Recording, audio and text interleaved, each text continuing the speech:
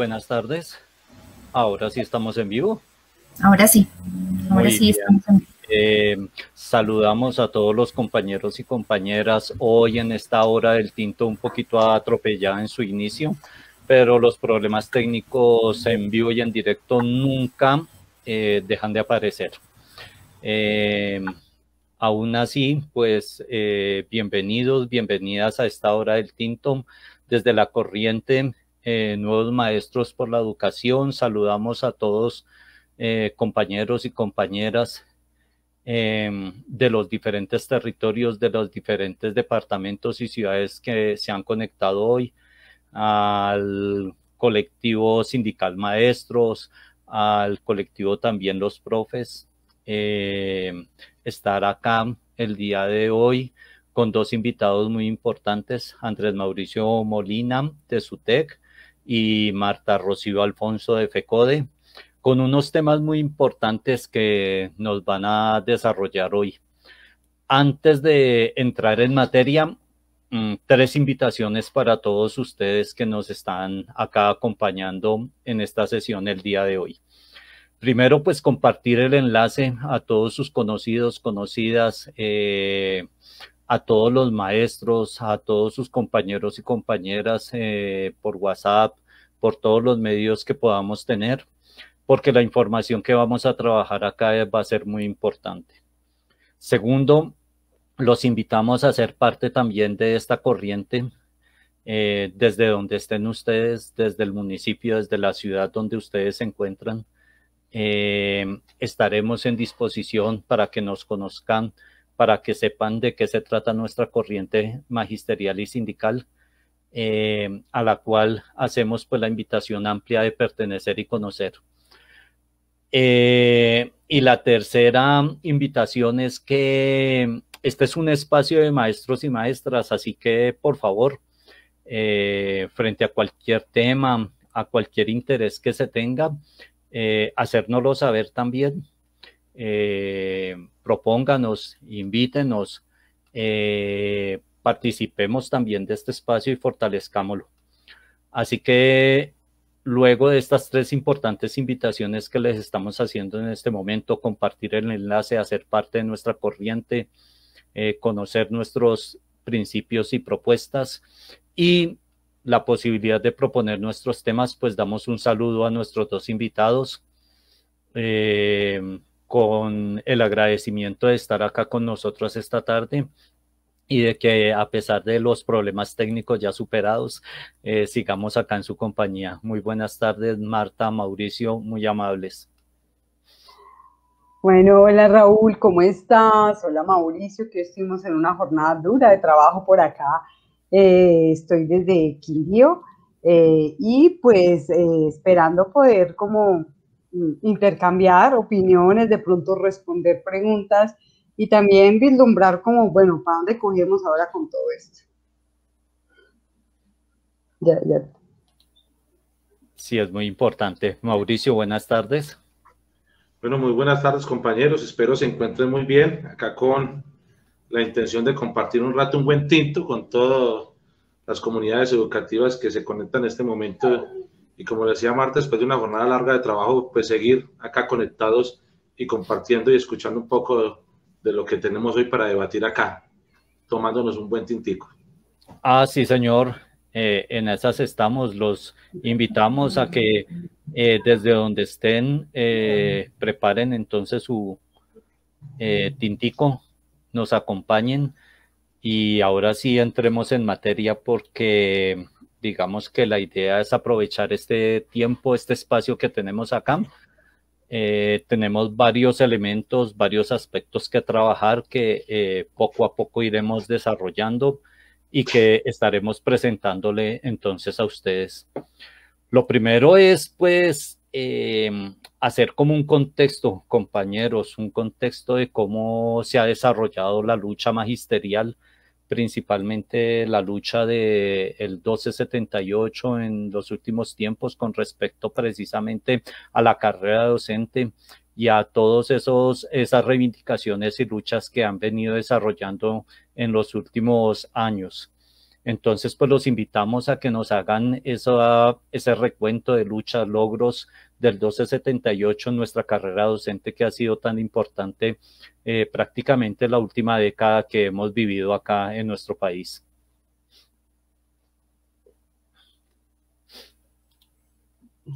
Vamos aquí como a mirar varias cosas. Pues yo les cuento que ayer preparando una exposición y como una serie de debates que hay eh, de, lo que ha sido, pues con toda esta expectativa de que si va a haber eh, un, un, ¿qué? un nuevo, una nueva forma de evaluar, si vamos a salir.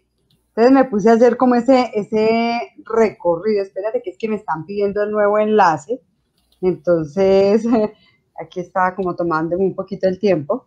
Eh, entonces, encontré unos documentos muy bonitos, hasta los muñequitos eran bonitos, y eran los primeros documentos, por esa época nos conocimos con Mauro, con Raúl sí me conozco hace tiempos, eh, desde la época universitaria, eh, pero nos conocimos en ese debate que tratando de entender qué éramos nosotros en este mundo, o sea, qué éramos los del 1278.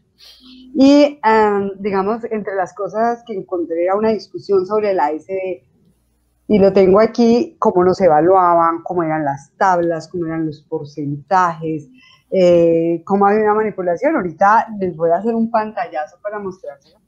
Pero también había otro documento, ¿sí? Eh, sobre eh, elementos de carrera docente, cómo se configuró la pelea por los derechos de carrera, un documento que llevábamos a los eventos de FECODE, a los eventos de, de sindicato, y creo que aquí hay como todo una discusión de cómo entramos los del 1278 y cómo nos configuramos. Pero les decía hoy en una charla que una característica que tenemos es que el 1278 es del 2002, del 2001 es la 715 que es la madre, ¿cierto? Y el recorte del Sistema General de Participaciones. Y les mostré una diapositiva sobre la violencia letal sobre el magisterio, sobre los líderes sindicales, cuando les digo a los compañeros, miran que el pico más grande en 1999, 2000, 2001, 2002 y empieza a descender. Es decir, que el 1278 lo impone con una gran represión, no solo por descuentos, sino porque eh, acallaron, asesinaron, desestructuraron una gran parte de ese movimiento sindical y entonces eh, nosotros se, pasma, en el 2005 volvemos, eh, se activa y entramos, pero ya se había calmado una situación que fue terrible. Y como este país es un país eh, sin memoria, no hace una relación de lo que pasó en ese periodo de violencia antisindical antecito de que impusieran el decreto 1278. Eso es como algo como, como que quiero comentar aquí de inicio.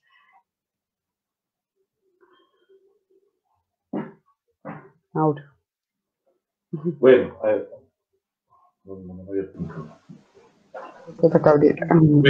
buenas tardes a todos. Igual que Marta, creo que el, magisterio nunca la ha tenido fácil.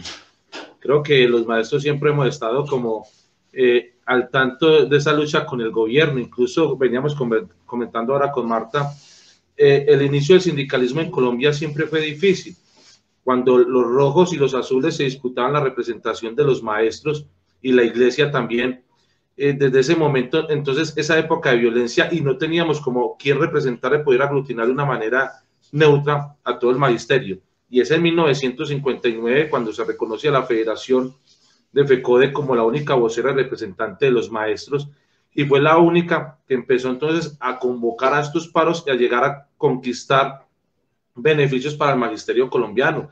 el, primer paro en 1963, la marcha del hambre en 1966 con los maestros de Magdalena que llevaban unos meses sin recibir salario y fue CODE, se solidariza con los maestros y los convoca a esa gran movilización a ese paro y los maestros marcharon desde el Magdalena hacia Bogotá.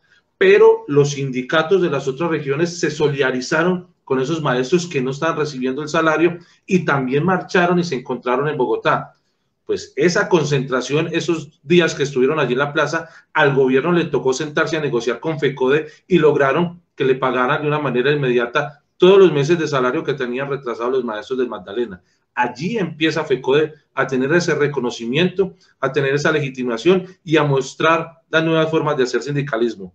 La época de los 70, Marta, eh, en la conquista del, del 2277, la influencia del movimiento hippie, la música, la parte cultural, el cine, el teatro, pues empieza a explorar en los maestros estas nuevas formas de hacer sindicalismo. Y hoy tenemos un magisterio eh, organizado, cualificado, pero tenemos una gran diferencia. Tenemos dos estatutos que están, y no pasa sino en Colombia, en los cuales están allí para ejercer una misma labor que la labor docente. ¿Cuáles son los estatutos? El 1278 y el 2277. Pero acudiendo un poco hacia la pregunta que, que nos hacen acá los compañeros, es que el ingreso de los docentes del decreto 1278 del 19 de junio del 2002, esa primera pucha, esa primera entrada se dio en el año 2005. Fue un proceso de cambio y de aceptación. Por ser un decreto nuevo, pues pasaron meses, algunos años para comenzar a interpretar mediante la experiencia las dificultades que presentaba este decreto. De hecho, Marta empieza a hacer esa vocera, a ser esa representante de los maestros allí en Antioquia, y es allí en esa lucha que me encuentro con Marta y empezamos, ya llevamos tiempo, Marta, ¿no? Conociéndonos y haciendo ese trabajo. Yo podría decir, ya para darle la palabra a Marta que continúe, yo podría anunciar tres elementos. El primero es que el 1278 está enmarcado en la evaluación, porque hay una evaluación de ingreso, hay un periodo de prueba, hay un desempeño y para ascender o reubicarse en el escalafón también es producto de una evaluación. Un segundo elemento que es que el gobierno pretendía tener mayor control sobre los docentes, impedir con el 278 la movilización y tener maestros menos costosos en cuestión de salarios. Hoy en día, pues vemos de que ha cambiado un poco ese panorama y es al revés. FECODE en los paros y la movilización logró exigir, en la convocatoria de, del ascenso y la reubicación y los docentes comenzamos a ascender en el escalafón y muy pocos fuimos avanzando. Y Marta nos compartía ahorita eh, el número de las, la cantidad de maestros que podían ascender en las primeras convocatorias cuando era la evaluación de competencias. Y un tercer punto que es el despertar de los docentes del 1278. Fue en el 2015 cuando empezamos a movilizarnos y a entender que por medio de la protesta, por medio de la movilización organizada y pacífica, convocada por FECODE y por los sindicatos filiales, es que podíamos conquistar y traer buenos beneficios, no solamente para los maestros, sino también para los estudiantes y las comunidades educativas. Eso pues como introducción al elemento. Claro, y, y, ser muy protagonistas en los paros del 2017, ¿cierto? Ser protagonistas también en, en estas luchas importantes donde precisamente esas reivindicaciones y esos deseos eh, que se tenían el 1278 como tal, cuando se reconoce ya como unos, unas personas, unos profesionales que se han preparado, que han estudiado y demás, eh, necesitan y entonces hablar ahí de eh, unos sueldos profesionales, hablar también ahí de unas condiciones laborales, hablar de un sistema de ascenso que verdaderamente reconociera precisamente esos esfuerzos, eh, van tomando fuerza a medida de que el 1278 va tomando conciencia de sí mismo y participa en la movilización eh, directa, cotidiana y en esos grandes paros que hubo también para um, unas negociaciones importantes que se vinieron en desarrollo y que creo que hoy en día todavía falta por alcanzar algunos puntos de, esos mismos paros, pero que fueron un inicio muy, muy importante para todos y todas, y en, yendo eh, con la idea de abrirnos paso y ser más eh, participativos e influyentes en todo este proceso. Bueno, el micrófono todavía se lo olvida aún. Hay, hay unas cuestiones que a mí me, me, llaman la atención y es, hoy hablaba con compañeros que llevan vinculados hace cuatro o cinco años y entonces no tienen idea de lo que pasó el antes, ¿cierto? Cuando nosotros entramos, teníamos el decreto 78 y teníamos un, eh, un decreto, una resolución para eh, el ingreso. Pero los primeros tuvimos que recibir el decreto 3782 de evaluación de desempeño cuando ya se acaba el primer año de evaluación de desempeño. Y con sorpresas frente a los debates y lo que debería de ser. Y posteriormente, cuando estábamos en el 2009, todos, oiga, pero aquí ya hay gente que cumplió cuatro años y no sabemos cómo vamos a ascender. Y, y el decreto decía que de tres a seis años. Entonces empezamos a pelear y se dio la pelea porque eh, en los borradores que salieron del decreto 2715, eh, por ejemplo, la evaluación fuera anual. Eso no fue con el 1657 en el 2016, sino fue con el 2715 en el 2009. Y resulta que en el 2010, cuando estábamos en esta pelea y convocan a la primera evaluación de competencias, pasaron unos compañeros y al tiempo estaban nombrando a la gente como el tercer concurso.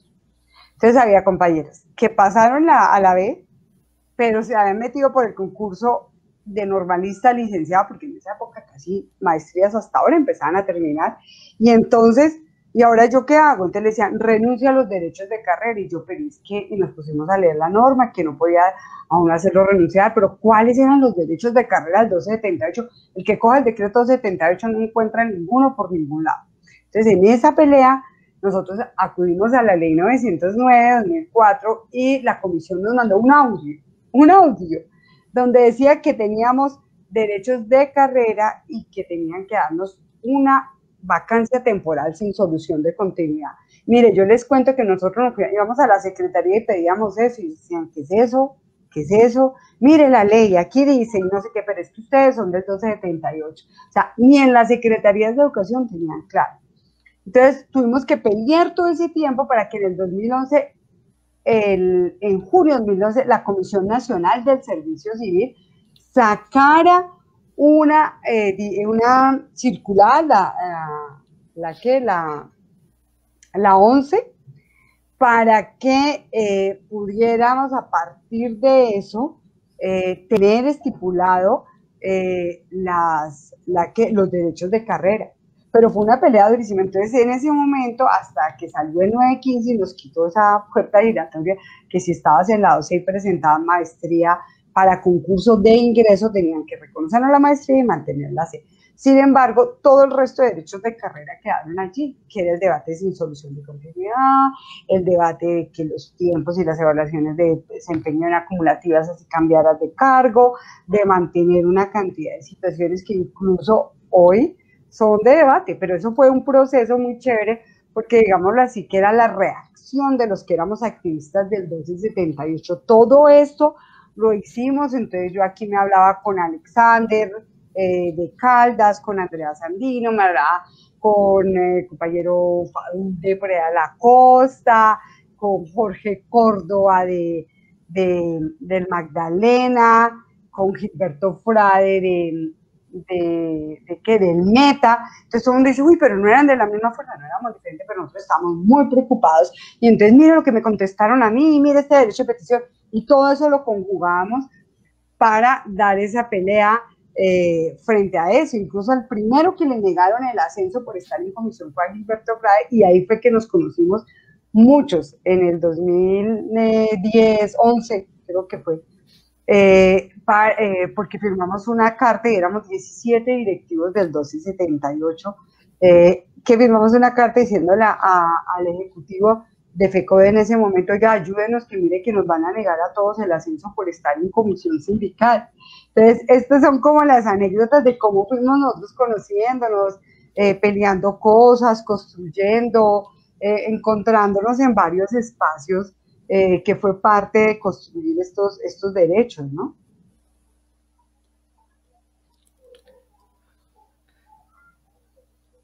Es decir, eh, el ser hoy reconocido 1278, el haber construido esta corriente y otras expresiones 1278 en el país ha sido en medio precisamente de ese reencontrarnos, de ese reconocernos de luchar por lo que hemos alcanzado y tenemos hasta este momento.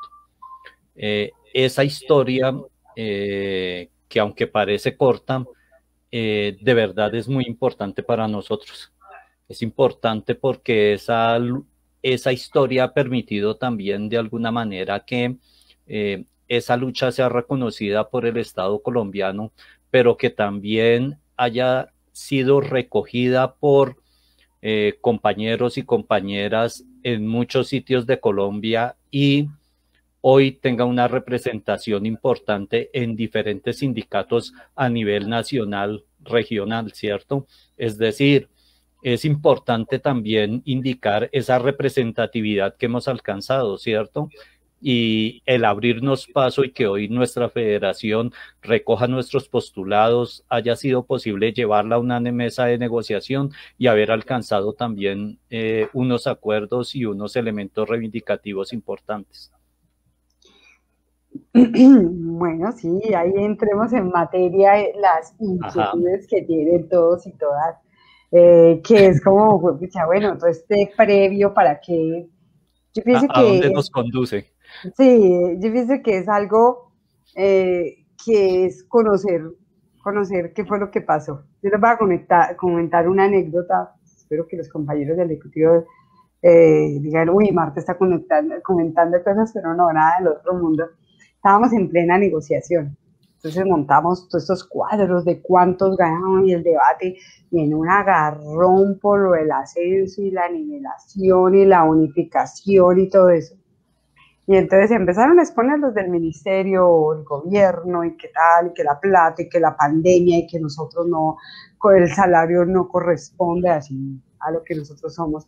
Entonces eh, nos sacaron esto para que ustedes se sorprendan. Creo que esto, eh, yo a veces les pregunto a los compañeros en las asambleas, eh, según el decreto, el decreto 1278, originariamente, ¿cada cuánto deberíamos de ascender al escalafón? Entonces algunos dicen a Mauricio si sabe, tres a seis años, ¿sí o no, Mauro? Entonces, algunos dicen, no, cada año, cada dos años. Pues claro, yo no, le pasa lo de la mariposa que vive ocho días, entonces no sabe qué pasó antes, ¿no? Entonces, eh, resulta que eh, algunos dicen un año porque como el decreto último dice que debe ser anual, otros dicen que hace dos años porque hace dos años no ven una convocatoria, etcétera. Entonces, eh, nos dice, es que el decreto dice que las convocatorias cada tres a seis años según disponibilidad presupuestal. Y no hay eh, provisión ni previsión, no se puede convocar, tal cosa. Entonces y dice, y gracias a ese acuerdo, de Gina Parodi, de, de, ese acuerdo que hicieron, de que la evaluación fuera anual. Entonces, claro, pues ahí hablamos y eh, y lo increpamos y le decimos perdón. No, mire, fue en el gobierno de Uribe, en el 2009, y entonces se contó la historia que había sido por atención ciudadana, que los maestros llenábamos eso, ese decreto 27, eh, el, el, anterior, el de competencia, el 2715, lo publicaron, la última publicación fue como el 22 de diciembre y lo tuvieron hasta el 8 de enero, imagínense. Pero nosotros estábamos en vacaciones porque todos éramos maestros y nos pusimos de acuerdo y nos mandábamos los textos, eh, hicimos, una, hicimos el análisis y los que estábamos conectados, bueno, y escríbale que por disponibilidad presupuestal no pueden cortarlos, cortar, pero porque el 278 dice por disponibilidad presupuestal. La renta fiscal la plantean en otro espacio. Entonces, se le dice, no señor, fue en el gobierno de Uribe, no en el de Santos que se habló esto porque no lo ganamos, de que las convocatorias fueran anuales y sacamos el cuadro diciendo por eso hubo convocatoria en 2010, en el 11, en el 13, en el 14, en el 15 y después se suponían que seguían las SDFs año a año y no las hicieron porque pasaban el doble. Y en conclusión, obviamente ellos no quieren la SDF, la consigna del Ministerio de Educación es no más SDF. ¿Por qué? Porque en cinco convocatorias de evaluación de competencias más o menos se movieron y se hicieron 45 movimientos, 45 mil movimientos. Y en tres convocatorias de SDF, ¿sí? Se hicieron 94 eh, mil movimientos más o menos. ¿Sí me entiendes? O sea, el doble. Entonces, convocar una cohorte, como es en este momento por la incidencia, con todas las críticas que se tengan, mínimo tiene que dar para que se muevan 28 mil maestros. 25 mil porque, mejor dicho, se porque no se inscriba la gente. Entonces, claro, para el gobierno sabe que una convocatoria son 25 mil movimientos que tienen una incidencia total en salarios y todo, y la tarea es congelamiento de Eso fue una pelea muy dura que se dio en el marco de la negociación. Entonces, mire lo que ellos sacan diciéndonos, no, es que esto es, eh, no se puede hacer. Entonces, creo que ahí fue una discusión, eh, pues, digamos, eh, del gobierno de decir que eso era un invento pues del gobierno anterior, toda la culpa fue del gobierno anterior, y entonces estrella, no señor, fue del gobierno anterior, del anterior, o sea, de su jefe político, Él fue el que dio la orden de eso, porque fue una pelea que nos la ganamos en el 2009. ¿sí? De que la, ¿Y sabe cómo nos la ganamos? Utilizamos, ay, no tengo aquí el número de las sentencias y tengo ya todas cruzadas de tantas sentencias. Eh, la 453, una, una sentencia que emite el doctor Héctor Sánchez, me está viendo por ahí diciendo Marta, no se aprendido el nombre, el número, eh, y mete una, eh, una demanda porque a los maestros les habían congelado su escalafón. Entonces la sentencia, que es del 2005, dice que a ningún trabajador se le puede afectar su remuneración por disponibilidad. Disponibilidad que es diferente a regla fiscal que ahorita Y nosotros usamos eso, porque como lo que dice el 1278 es que por disponibilidad era cada tres a seis años, seis años obligatoria, tres opcional. Entonces, con esa sentencia que era para el 2277, la lucha que dieron ellos, que se la ganó y que es una sentencia muy bonita, la aplicamos en ese momento para que quedara la norma así. Ahora la pregunta es, si la norma es así, si hay un fallo del Consejo de Estado, ¿por qué están dilatando las cortes? ¿Y por qué en la cara nos dicen no hay provisión, no hay previsión, no se puede convocar? Ahorita les cuento la segunda parte, que fue lo que pasó en los acuerdos. Eh, no sé, Mauro, ahí ese punto. No, pues, a ver, no, Marta, de lo que veníamos hablando, porque nos hablan acá del contexto actual. Ajá. Y, y hay que decir que en el contexto actual que se da esta negociación que resulta FECODE, pues se da producto de la convocatoria que se hace el 28 de abril anterior, que inicialmente era para poder rechazar la reforma tributaria de Duque y Carrasquilla. Esa convocatoria, pues, ¿qué nos genera? Un estallido social, un, un, gran sector de la población colombiana que está cansada, que está hastiada de tanta corrupción, de desigualdad, ausencia del Estado en algunos territorios, donde los jóvenes reciben muy poco apoyo del Estado, pues se atrevieron a salir y mantenerse en las calles. ¿Qué originó esto? Un paro social. Y ese paro social al cual se suma la federación, al cual nos sumamos los sindicatos solidariamente, porque efectivamente vimos la energía y las ganas de los jóvenes estar allí en las calles, los sectores populares y los gremios. Obvio, hace mucho rato la pandemia, imagínense, si perdemos el miedo al contagio, es porque el gobierno es más peligroso que el mismo COVID-19. Y eso pasó en las calles. Y tuvimos un paro social. Pero también hay que entender desde el magisterio que nosotros hace mucho rato no vivíamos un paro social tan largo. Es decir, la nueva pucha de maestros del 1278 no teníamos esa experiencia de estar en la calle como un paro social. Un paro gremial sí, convocado por FECODE, pero no un paro social.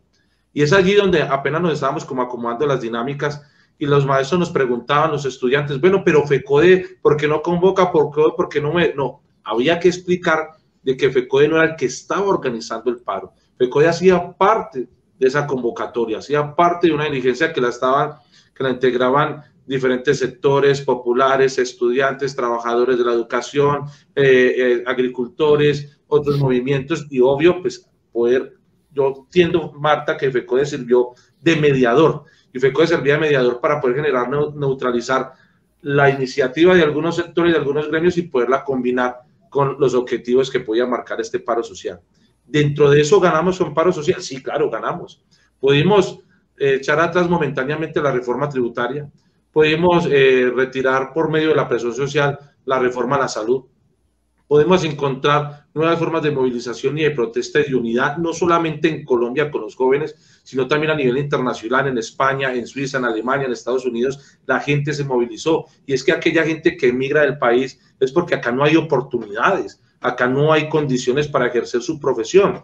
Y yo vi que hicieron por allí una ONG, estaba haciendo unas consultas preguntándole a los colombianos por qué se van y ellos expresaban, porque acá tengo más forma de producir, acá tengo forma de aplicar lo, que he estudiado, acá puedo ayudarle a mi familia. Y le preguntaban, y si en su país, o sea, Colombia, pudiera generar esas condiciones, usted volvería. El 99.1% dijo, sí, yo vuelvo a mi país. Y en ese sentido también pudimos conocer, yo no lo tenía presente, el término de primera línea, segunda línea, tercera línea y cómo genera esta dinámica en los jóvenes. Lo que pasó en Cali, lo que pasó en coreando las consignas, pues eso quiere decir que estamos haciendo bien las cosas y que hay una gran diferencia. Y en ese sentido, montar una mesa de negociación en un paro social es muy diferente a un paro gremial, porque FECODE hábilmente, cuando menos pensamos, los únicos trabajadores públicos que estábamos sosteniendo el paro éramos los maestros, porque los otros ya se habían reintegrado a, sus labores. O no salieron, o no salieron, Marta. Entonces, hábilmente FECODE vio, se adelantó un poco a, esa dinámica y dijo, no, si acá no convocamos a esa mesa de negociación, nos van a aniquilar. Y efectivamente, esa mesa de negociación hoy tiene unos frutos. Eso, eh, FECODE y su dirigencia, acá encabezada por Marta, pudo moverse. No es fácil y eso ya lo vamos a discutir y lo vamos a mirar, pero entonces sí hay que hacer una diferencia de que estabas en un paro social, no gremial, pero aparte de eso y con todas las dinámicas y dificultades que se tuvieron, pudimos sacar adelante unas negociaciones, pudimos sacar adelante un pliego y hoy estamos hablando de que con los maestros nos sentimos un poco aporreados, hubiera podido ser peor si no se adelanta eh, eh, esa negociación con FECODE. Allí tendría unos cinco puntos para poder enunciar antes de que Marta entre a compartirnos esa dinámica, porque ella que lo vivió día y noche allí, nosotros pendiente, bueno, ¿por qué no sale informe? Que es lo que veníamos hablando. Porque, pues porque es diferente la temática, la movilización que se están viviendo allí, porque hay muchos intereses de por medio. Y el primero es que la pandemia genera una crisis en la salud, una crisis económica, y acá hay una concentración del poder y el negocio de las multinacionales y los empresarios y el beneficio que el partido de gobierno le da a Bianca y le da a otras empresas de la gaseosa, le da esas ayudas, esos auxilios tan grandes a los bancos, que son los que tienen que ver directamente con el Estado. Y esa inequidad hacia la población, esa inequidad hacia los jóvenes, esa inequidad hacia la educación y venimos hablando de que el sistema general de participaciones hace mucho rato lo vienen desfinanciando y quiere decir de que para que lo podamos entender un poco más, es que anteriormente usted mercaba con mil pesos y podía entonces destinar para la salud, para la educación, para el saneamiento básico, para la vivienda. Ahora, ¿qué hizo el gobierno? Le rebajó la transferencia al sistema general de participaciones y nos están diciendo que usted ya no, no le están dando mil pesos para eso, sino 400 pesos. Y con esos 400 pesos tiene que financiar las mismas responsabilidades, es decir, nos quitaron 600 y con eso que para salud, para educación, para vivienda, para saneamiento básico, pues no va a haber plata que alcance y por eso estamos en crisis de salud y por eso estamos en crisis de la educación. Un segundo punto es que hay una concentración de poder. Hoy en día, con el gobierno Duque, tenemos una dictadura civil ha concentrado el poder. Tiene la Fiscalía, la Contraloría, la Defensoría, el Congreso. El Consejo de Estado. Consejo de Estado. Aparte de eso, este es el único gobierno que se crea mil viceministerios. Hay viceministerio para una cosa, viceministerio para el canto, viceministerio para el baile. Es decir, y esos viceministerios generan otros puestos, otra burocracia. ¿Y quién paga esa burocracia? Todos nosotros los colombianos. Y eso agobia, aumenta el hueco fiscal. Y entonces, acá Obvio, esa tenía que plantear una reforma tributaria y esa reforma tributaria la íbamos a pagar nosotros. Afortunadamente, pudimos salir, nos, nos expresamos en las calles y ahora están en ese estudio de la nueva reforma que tiene que presentarla como sea porque es evidente que tenemos un hueco fiscal. Y un tercer punto es que hoy tenemos un gobierno muy lejos de la realidad, un gobierno que no interpreta la crisis social que está viviendo el país. Cuando Duque sale a decir que un ayudante de panadería se gana dos millones de pesos, es un gobernante que está pero muy, muy aislado de lo que realmente vive la población colombiana. Cuando Carrasquilla no sabe ni cuánto cuesta un huevo, con el cual la mayoría de la población, nosotros sí lo conocemos, pues hombre, tenemos personas que están haciendo y administrando el país y que no están lejos de todo el contexto el narcotráfico permeó todos los estamentos públicos. Acá hay expresidentes, congresistas, la policía, el ejército, aeropuertos, delincuencia común, la niña política. Nada más con la niña política podemos identificar la registraduría de qué parte está. Este es el único país donde se levantan miles de muertos a votar, terminan las elecciones y vuelven allá al cementerio. Acá es donde los, los auxilios, los mercados llegan a cientos de personas de que hace mucho rato fallecieron, y pero ¿cómo hace usted para entregarle un mercado a una persona que murió hace 10 o 15 años? Evidentemente acá hay una corrupción que es el mal que está llevando al retroceso al país. Y por último, pues los medios de comunicación que están al servicio del Estado partidistas, como RCN, Caracol, en todos sus medios, por televisión, por radio, pues realmente maquillan la verdad no hacen un periodismo investigativo, atacan la posición, maquillan las realidades y eso es el informe y la educación que recibe gran parte de la población colombiana. Hoy en día, un sector de la población colombiana es educada por los medios de comunicación y obvio, por eso tenemos un país tan polarizado. Lo que pasó ayer con esta niña, la EPA Colombia, que efectivamente cometió un error, yo no soy fan de ella, ni la sigo en redes sociales, nada para eso, pero con ello están ejemplarizando la protesta y están metiéndole miedo a, la gente para que no pueda salir. Si eso se lo hacen a esa niña, que es reconocida, que hoy en día es una empresaria exitosa, que ha podido salir adelante, que no le podrán hacer a X persona. Quiere decir que la justicia es selectiva. Acá la justicia de este país no es general y acá la gente que sale a disparar en la protesta contra los ciudadanos divinamente al lado de los policías, no pasa nada con ellos, nadie los investiga. Lo que está pasando acá con el Ministerio de las TIC evidentemente es un robo, es un atraco a la población colombiana, a todos los programas que presenta el gobierno Duque, pues nos tiene muy perjudicados. Y quería resaltar todo esto porque ese es el contexto en el cual salimos a la protesta social, a un paro social y que evidentemente FECODE supo capotear y hábilmente pudo convocar a una mesa de negociación y pudo lograr los acuerdos que ya Marta nos va a poder compartir dentro de esa dinámica. Perfecto, Mauricio, muy bien. Eh, dándole la bienvenida a muchos de nuestros compañeros y compañeras que hasta ahora se están conectando porque desafortunadamente tuvimos problemas técnicos con el primer enlace que eh, les entregamos a ustedes, que multiplicamos, que dimos a conocer. Nos tocó generar un segundo enlace eh, para contextualizarlos a todos y todas, hicimos un recuento un tanto de eh, cómo ha sido el proceso de reconocimiento, lucha y conciencia del 1278, eh, cómo hemos eh, a partir de esas reivindicaciones y luchas también alcanzado un grado de representatividad nacional y regional importante, como nuestra federación ha recogido precisamente esas reivindicaciones eh, que han sido posibles en medio de una lucha social, en medio de un paro, de un levantamiento popular muy importante que se ha dado acá en Colombia, eh, reflejo precisamente de una condición autoritaria de una condición de desgobierno que tenemos en este momento, de un gobierno, como lo decía Mauricio hace un momento, alejado de la realidad eh, colombiana.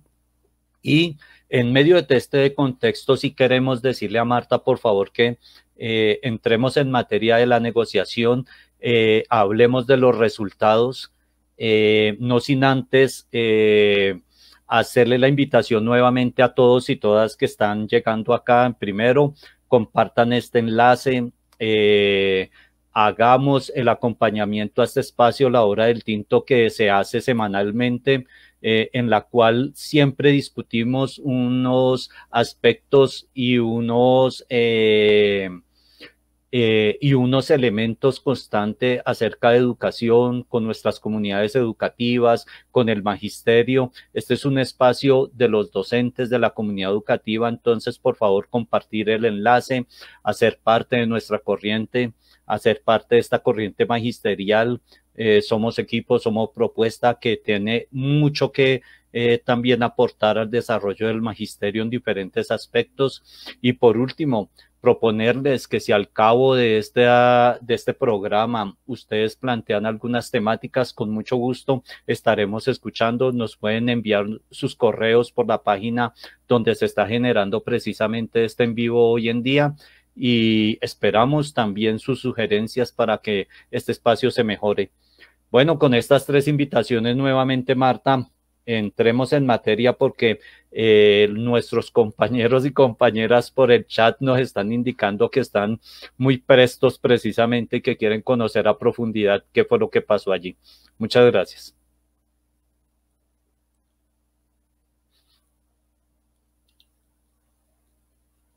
Activar. listo. Eh, hay varias cosas que, que yo quiero que, que son importantes entender. Nosotros presentamos un pliego con 40 puntos. Eh, en la esencia del pliego era cumplimiento de acuerdos.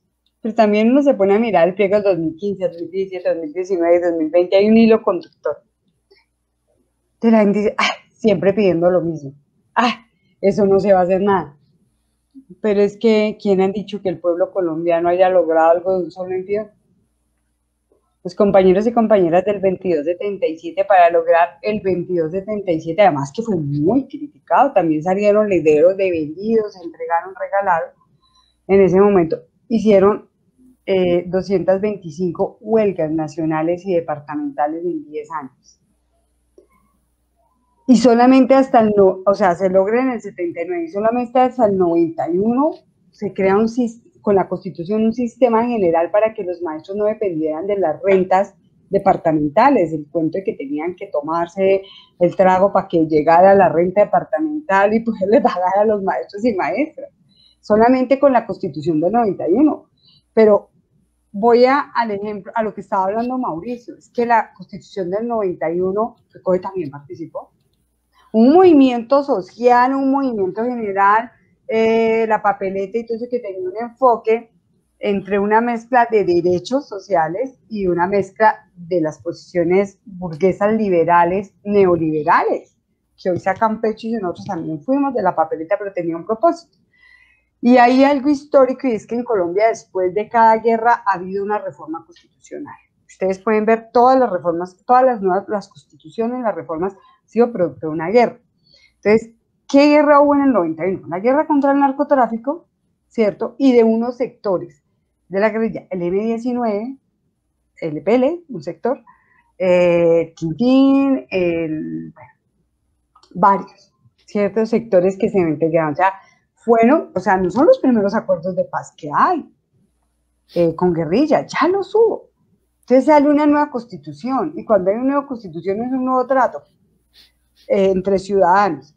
Pero hoy vemos a los detractores de esa constitución dándole a los que no están con ellos, porque hay que decir que hay gente que fue de las guerrillas del M-19 que hacen parte del uribismo, pero son guerrilleros, es guerrilleros buenos, porque están con ellos. Entonces hubo un nuevo pacto, un nuevo acuerdo y esa constitución del 91 generó, por ejemplo, un sistema de financiación propio de la educación, que eso es positivo.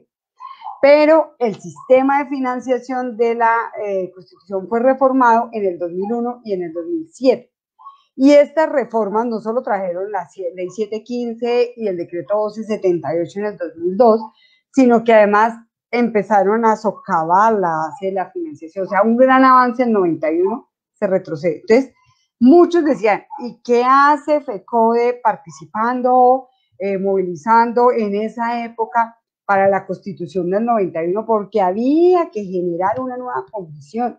Y desde ahí entonces los maestros empezaron a ser pagos con el sistema general de participaciones, eso eh, a tener las mensualidades, ha venido otra cantidad de debates, había eh, pasado el debate del fondo de prestaciones de magisterio, se había logrado. Y entonces viene todo este proceso y aparece el 1278, que fue una derrota. Fue una derrota en términos eh, no si tenemos mejores salarios, así sea en proyección, así sea en la tablita, sea más atractiva, sino que lo más grave fue que se metió un sistema de evaluación, pero respondía a la constitución también del 91, porque es el artículo 125 que dice que el ingreso, la carrera está determinada para la evaluación, dicen todos los cargos del Estado que no son de libre eh, remoción nombramiento y remoción o de elección popular deben ser ocupados por concurso de ingreso. Dice, el ascenso, el mejoramiento está relacionado con el mérito y la permanencia en la carrera la determina una evaluación de desempeño laboral. Está ahí. Ese es el marco constitucional que tenemos hoy. También dicen que la educación debe ser garantizada por el Estado, pero la recorta hasta los 15 años. Y ha sido una pelea de FECO de mantener décimo y once financiada por el gobierno, porque ahí están las plazas docentes. ¿Qué pasaría si décimo y once privatizaran y concesionaran todo? ¿Cuántos maestros salían? ¿Sí? Entonces, estas son las discusiones que tenemos. Pero en el acto legislativo 2001 nos dan un golpe al sistema general de participaciones, y empieza a bajar esa curva. En el 2017 se profundiza, pero recuerden que había una adición presupuestal de 2 mil millones de pesos que nos llevaba a sobrecargar, a sobreaguar la situación. Pero en el 2016 se acababa ese acto del 2017. ¿Qué pasó en el 2017? Pues todo el 2015 salió, ¿qué reforma, qué reforma? se dijo que sí, que se iba a revisar, que financiación, en el 2017 que reforma, en el 2019 se acuerda los términos de la reforma y ahorita en el 2021 la estamos peleando. ¿Por qué? Porque el hueco fiscal se genera porque, dado lo que decía el compañero Mauricio, han sido tantas las exenciones tributarias, tantos los beneficios que se han dado, que la bolsa de tributación, que es la base del sistema general de participaciones, se ha reducido, se ha reducido. ¿A favor de quién? De las multinacionales, de las grandes empresas, de quienes tienen la riqueza en el país. Y entonces nos dicen, es que por culpa de ustedes que no dejan hacer la reforma tributaria, porque no la están cobrando, em, no puede haber ascenso, porque no hay disponibilidad presupuestal. Entonces los maestros siguen, la embarramos, mejor haber hecho la reforma tributaria. No, compañeros y compañeros, igual, sí, igual hubieran buscado la disculpa porque hubieran dicho que la plata no alcanzaba. Se pierden las, en, en, la conectividad de las escuelas. Eso, se pierden los TIC, se pierden todo lo que no. Entonces, no nos echemos cuentos, no, el movimiento logró eso. Y entonces, empezando la mesa, sacan la directiva 17 a castigar los maestros y maestras y están todos tristes. No, nosotros pagando, tal, no, yo sé eso. Yo tuve que pagar los 37 días con, eh, con descansos y todos en el 2017. Yo estaba en la base como maestro. Y el 2015 también pagué los días, pero no fue tan duro. Entonces, algunos ya no vuelvo a salir al paro porque es que, perdón, no, compañeros, compañeros. Gracias a esos maestros y maestras que salieron a dar la pelea, logramos mantener una serie de puntos. Porque ahorita que les cuente de lleno, uno a uno los va a contar qué fue lo que propuso el gobierno y qué fue lo que logramos así la gente crea que no logró. Si no fuera por ustedes, olvídese, compañeros y compañeras, no hubiese salido absolutamente nada. Y la otra es que yo le digo una frase a los compañeros y compañeros que tienen formación por ahí, sabe de dónde sale la frase, dice, el que se atreve a desafiar al emperador, Raúl, no teme ser cortado en mil pedazos quieren doblegarnos, quieren que uno maldiga el sindicato, que diga ahora me desafilio por culpa. Ese es el castigo para el que lucha en un país fascista. Mm. Y duro, sí, yo sé que el cansancio, ahorita más de uno no puedo porque estoy, no me puedo conectar, después lo estoy reponiendo tiempo del paro, estoy reponiendo de juego y están de compañeros y compañeras. Nosotros, la dignidad no se vende. Y ellos lo que quieren es doblegar. No se negocia y nos quieren doblegar y quieren castigarnos para que tú no vuelvas a salir a paro y para echarle la culpa a FECO. Para cuando renegar. bilateral, cuando lo sacó el ministerio, las garantías se negocian en la mesa, pero es que no habíamos ni siquiera empezado el proceso, o sea, los 10 días estábamos en ese, cuando sacan esa directiva 17. Y la otra, decirle a la gente que en esta pelea que tenemos, en este enfrentamiento tan duro, ellos nos quieren derrotar así y nos quieren aislar y decirle a la población que somos una mano de vagos, que no nos merecemos nada, porque eso es guerra de baja intensidad, es aislar al pez del agua, o sea, aislar a los maestros y las maestras de las comunidades, generarnos campañas de estigmatización. Pero FECODE ha sobrevivido a muchas cosas. Yo que estaba al frente de la construcción de los informes de FECODE, para la Comisión de la Verdad, para la JEP, para otros espacios, uno dice que ha sido eh, glorioso, así tengamos críticas, debates, me las tengan a mí, a los compañeros, compañeros, hemos dado una pelea para que no nos amigan. Y decirles que en últimas, nosotros y nosotras entendemos que es muy duro pagar unas horas, pero quisiera tener la misma posibilidad de poder, o sea, reponer unas horas las podemos hacer, así sigamos cansados, poder reponer la vida de los jóvenes y las jóvenes que dieron su vida en este paro para tener la mejor condición, para develar el gobierno, para decir esto no está bien y queremos otra forma de vida. Ellos no los podemos revivir, las horas de paro las podemos reponer y hasta lo hacemos de buen agrado por nuestros niños, así se haya cansancio, pero las vidas de ellos no.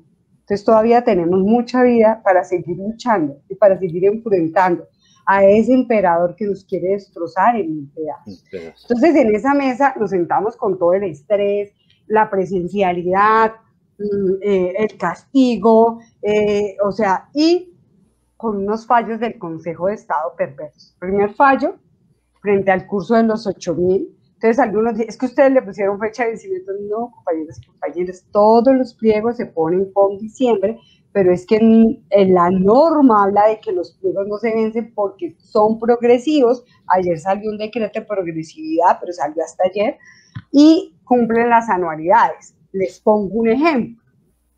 Si fuese así, si fuese que nosotros le pusimos una fecha, entonces no podían cumplir ni la nivelación salarial de este año, el 1.5, ni la nivelación salarial del año entrante, 2.5, ni el acuerdo que hicieron en el 2015 se hubiera podido cumplir hasta el 2019 con los 12 puntos de nivelación que el 2019 fueron 3 puntos. con cambio de gobierno. Claro, que fue. Eso es una falsedad. Eso es una falsedad. Lo que sí sabemos, como lo dijo Mauricio, es que la cooptación del gobierno, el control que tiene sobre varias de las órganos de control y sobre las cortes, el Consejo de Estado o algunas partes, nos está matando. Entonces, ¿qué fue lo que hicieron ellos? Meterse eh, con el Consejo de Estado. ¿Usted no le extraña que frente a todo esto eh, eh, una decisión y es que las tutelas que se le ponga a presidencia al Ejecutivo las resuelve el Consejo de Estado. O sea, escogieron su juez como aquellos senadores cobardes que renuncian para escoger su juez y que no sea quien les corresponde las cortes, sino la fiscalía. Lo mismo. Sí, lo mismo hicieron. Entonces ellos definen quién los juzgue, pero resulta que ellos mismos los eligen y se deben favores. Entonces el Consejo de Estado falla en un acto, en una acción en segunda instancia, que tenía fecha de vencimiento, pero sorpresa, no preguntó por qué no se han cumplido, simplemente dijo, no hicieron seguimiento. Ustedes creen que nos preguntaron otros o al ministerio hubo seguimiento, hubo mesas de seguimiento donde quedaron claramente las actas.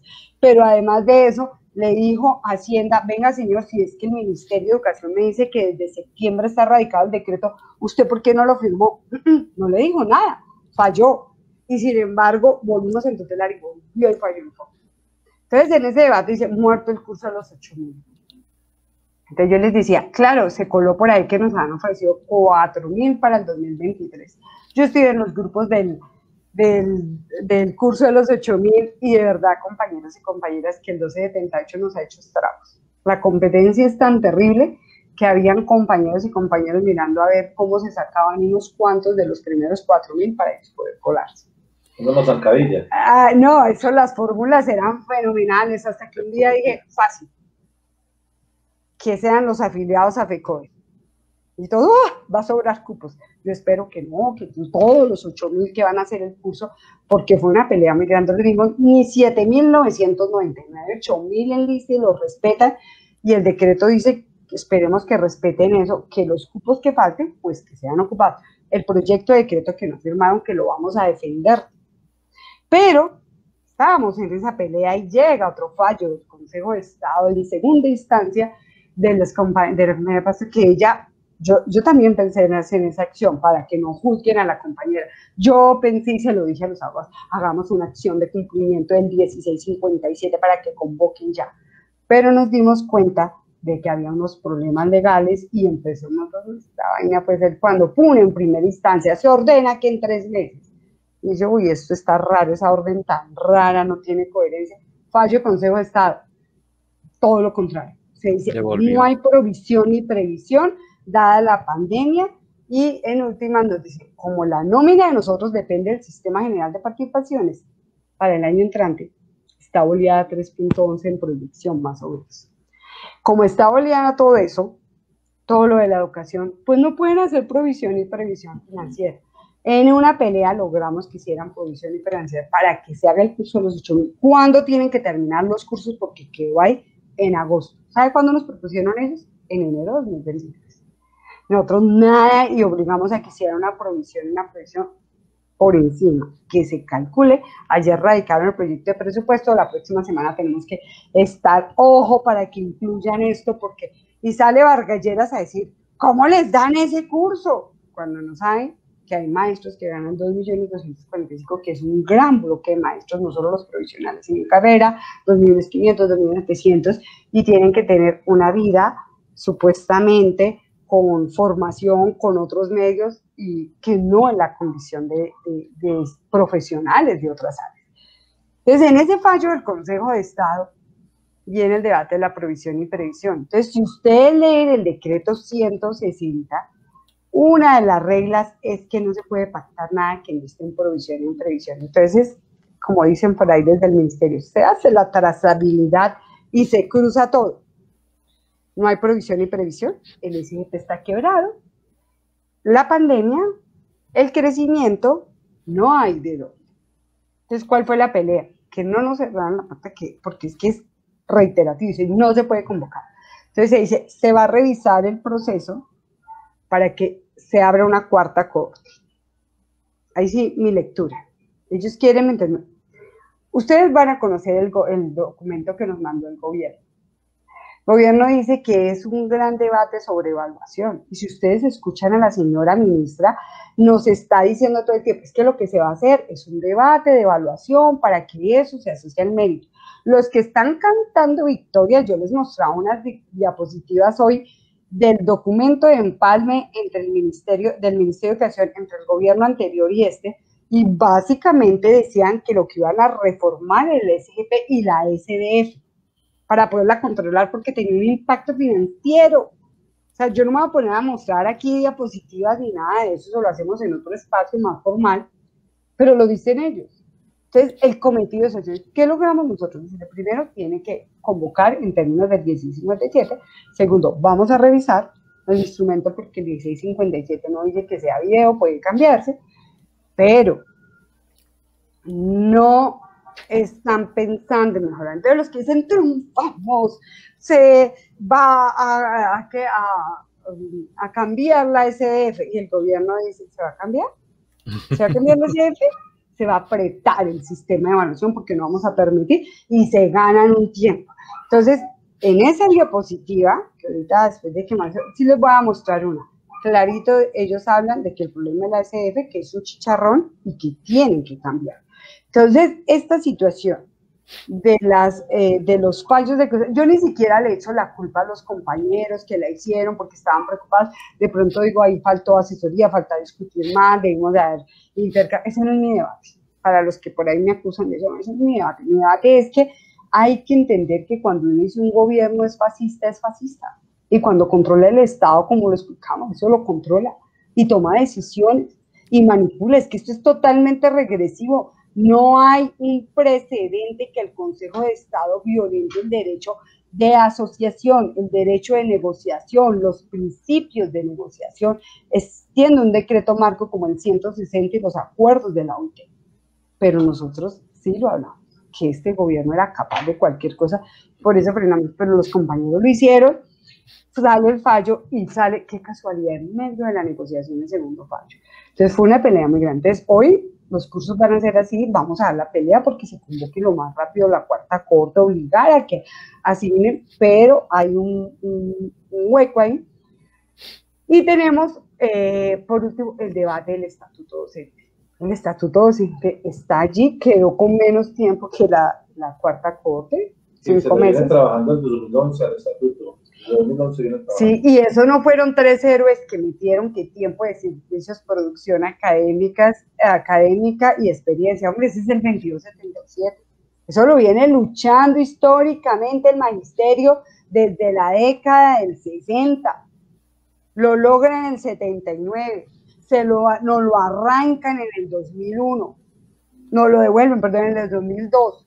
Y viene el debate cuando ya entramos en físico. Entonces se da toda esta pelea, ¿por qué no vemos eso? Entonces, nosotros logramos que se metieran, hombre, eso siempre han sido los tres principios. El debate es que el 1278 dice que hay una evaluación de 80 puntos. Y esa evaluación podemos hacer una fiesta, una piñata, un video, una clase, un examen, y nos van a echar en la misma tómbola y solamente van a pasar los que ellos decidan por renta fiscal. Y lo dicen claramente, para eso es la evaluación. Entonces, aquí el debate de la pelea del estatuto, pero yo les cuento que si no hay reforma al sistema general de participaciones, se van a seguir amparando en estos fallos del Consejo de Estado de que no se puede hacer provisiones para un nuevo ascenso y van a mantener congelado al 1278. Al 2277 no hay problema, están congelados con salarios más bajitos, más bajitos. Entonces, para nosotros es vital la pelea del sistema general de participaciones, la pelea del fondo de prestaciones y las licitaciones y el cumplimiento del plan de salud, la discusión del ascenso al escalafón y el debate de estatuto docente, obviamente, el debate de evaluación de desempeño, que no va a ser. La única forma de que salgan las evaluaciones, en el momento le paso aquí la palabra mi eh, compañero. Claro, eh, Mauricio tiene segundo al bate ahí para que nos pueda complementar ciertas cosas. Y claro, Marta, la idea, precisamente como usted lo dice, es que tema que se necesite eh, ampliar, dialogar, profundizar, con mucho gusto está el espacio para que cada viernes eh, sea una cita constante eh, con el cafecito, el tinto. Mauricio, por favor, siga. lo que pasa es que como lo, expresa Marta, aquí, acá toca es destinar un tiempo para poder hacer estos debates y la explicación de, de todos estos componentes que se va generando. Y ya lo dice el gobierno, se va a estudiar mientras haya un déficit fiscal, ellos van a seguir diciendo, no hay plata para poder hacer convocatoria porque estamos eh, sujetos a que haya partida presupuestal. Berracos de CODE, con que presentan un pliego de peticiones, llegan a negociar con los maestros ya trabajando. Es que anteriormente cuando estamos en, el pliego de peticiones negociando, una cosa es usted estar allá reunido con el gobierno, con todos los asesores, con el BID, que ellos se fundamentan y se asesoran con, con esta gente que viene de allá del BID para cuando hay negociación con los gremios y los maestros, 3.000, 4.000, 10.000 allá atrás agitando y respaldando. Y otra cosa es los maestros en las aulas de clase, después de venir de varios días, de estar en la calle, trabajando con las comunidades, con el peligro de la bioseguridad, con el peligro del contagio, con la duda, con todo el traumatismo que esto trae, y fecó de allá. Y el gobierno sabía, nosotros estábamos trabajando muy preocupados y muy ocupados, porque es que es otro contexto que hay que analizar, Marta. Acá, aparte de eso, que estamos hablando de cinco componentes que, está, que, conforman el pliego de peticiones de FECODE. Estamos hablando del primer eh, complemento, que es la implementación de los acuerdos en el marco de la presente negociación y tiene 20 puntos. Y entre esos 20 puntos, allí ya lo hemos, ya se han compartido las diapositivas por parte de FECODE, hay unos puntos que no tienen acuerdo. Abordar cada uno de los componentes y de los puntos en este momento creo que es difícil, pero como lo plantea Marta, sí nos va a tocar qué hacer algunos Facebook Live para analizar cada componente, cada punto, cómo se desarrolló, cómo se dio y cómo queda. Creo que es más dinámico así, pero que evidentemente, aparte de eso, hay que sumarle de que los maestros estamos asistiendo o empezamos a asistir a la presencialidad sin condiciones de bioseguridad, si lo hemos dicho al gobierno. A los maestros nos asiste el deber ético y moral de estar en el aula de clase. Es más, lo reclamamos. Queremos estar en el aula y compartir con nuestros estudiantes. En condiciones. Nosotros estamos preparados. ¿Sabe quién no está preparado? El gobierno. El gobierno no está preparado para ello. Y evidentemente, el, quinto componente que habla de la escuela eh, segura, la presencialidad, hay que decirlo. Acá tenemos todavía grandes falencias y deficiencias en la presencialidad porque acá requiere de dotación acá requiere de infraestructura y acá requiere unos planes de prevención para los maestros, para los estudiantes y para las comunidades en general. ¿Y eso requiere de qué? De plata. Y es lo que no quiere dar el gobierno, porque ya lo hemos hablado, el sistema general de participaciones es muy difícil. Y acá los rectores empezaron a comprar y a utilizar algunos elementos con recursos propios, recursos propios que las secretarías de educación no van, no van a devolverle a las instituciones educativas. Acá en Armenia, en el departamento del Quindío, también estábamos en mesa de negociación. El, viernes pasado terminamos la del departamento, la de Armenia la, terminamos hace ocho días. Y si negociar con los gobiernos regionales unos pliegos de peticiones es difícil, compañeros, yo no me quiero imaginar lo que está pasando con el gobierno nacional. Nacional. Porque es que efectivamente es difícil. Acá estamos hablando de jornadas de trabajo donde usted tiene que presentar el pliego, prepararlo, argumentarlo casi que llevar la propuesta de dónde va a salir la plata para poder financiar ese punto que usted está solicitando. Y el gobierno a toda la negativa que no, que no, que no hay, que vamos a ver, eh, no se puede, tenemos la directriz del ministerio, el gobierno dice que no. O sea, acá que estamos hablando es con una posición política y un gobierno que no está a favor de los maestros, que sabe que no tienen eco porque los maestros somos pensantes, que no debemos el voto a, a 50 mil pesos, a una teja, a un tamal, que no tenemos compromisos partidistas para poder entregar el voto, sino que lo analizamos y lo entregamos conscientemente. El gobierno ha enfilado su, trabajo y toda su maquinaria para dividir al magisterio. Ya lo hemos expuesto a lo largo de este Facebook Live y la división que, que se crea en el 1278 es precisamente en eso. Marta, Yo me acuerdo que estábamos hablando ahora de la primera pucha, cuando entramos los primeros docentes del 278 en el 2005 y llegamos con los compañeros del 2277, ¿cómo nos miraban? No nos miraban como, con mucho agrado, porque es que salieron a compañeros provisionales que llevaban con ellos 15, 20 años de trabajo y de la noche a la mañana pero pues perdieron su trabajo y llegamos nosotros, obvio, en ese inicio hasta el ambiente laboral era complicado. Hoy en día tenemos ya relaciones amables y entendimos que nosotros no somos los enemigos, que tenemos es un partido de gobierno, pero inicialmente eso es lo que pretendía el gobierno, dividir. Por eso creó el 1278.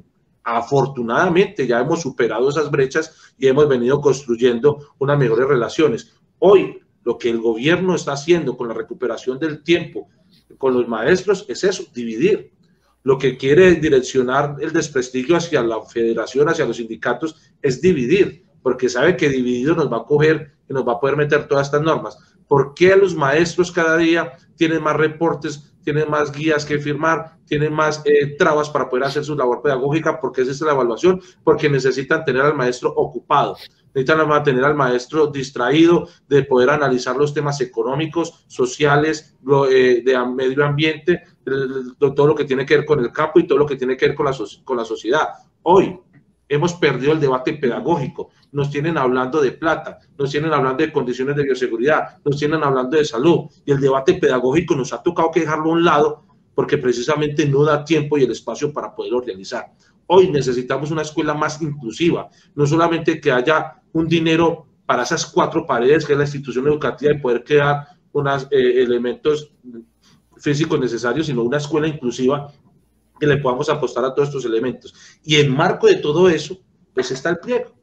Marta, yo quiero que, nos enfoquemos, ya nos ha hablado un poco sobre los, el, curso de los 8000, acá tenemos otros que se lograron, que podemos eh, hacer énfasis en esos que hemos logrado, que tienen gran relevancia, lo que es eh, el decreto salarial, lo que es la nivelación salarial del 2021-2022, que ya lo ha tocado un poco, eh, y poder enfatizar los logros que tuvimos en este pliego de peticiones con una negociación tan complicada que es con el gobierno nacional. Bueno, cambiamos de micrófono. Estamos de vecinitos.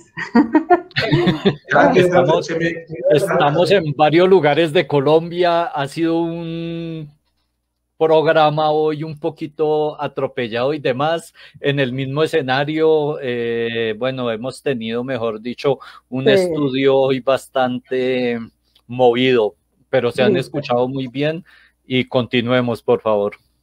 Bueno, ahí por eso hacen varias preguntas, ¿no? Una de esas es que dicen los compañeros, eh, venga, ¿por qué FECO negoció el retorno a clase? Y afortunadamente por ahí tengo una gran compañera que está también conectada, presidenta de la ADI, compañera del 2277, una luchadora, eh, Patricia Polanía, que es abogada además, de maestra. Eh, y dice, pues, ustedes no saben que hay un consejo del fallo de Estado que ordenó la presencialidad y de ahí surge el 777 y la, y la circular 05, es que eso fue un mandato, ¿de quién? Del Consejo de Estado, otra vez y espere que salga la próxima semana, les tenemos nuevas noticias del Consejo de Estado, que vienen por otras.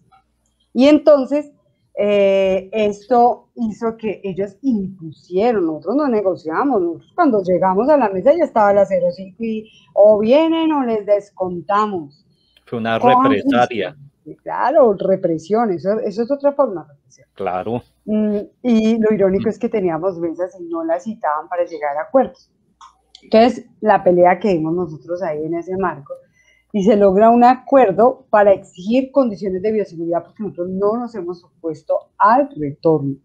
El debate son las condiciones. Y obviamente las condiciones son las que a nosotros nos asesoraron médicos, por ejemplo, con el debate de las comorbilidades desde el punto médico científico, porque esas decisiones no las tomamos nosotros por caprichos, donde dicen, por ejemplo, Dos, eh, son las dos dosis del plan de vacunación. ¿Qué pasa con el docente que tiene comorbilidad? Después de que se vacune, queda eh, con una condición. La vacuna sigue el contagio, lo que para es el nivel de agresividad.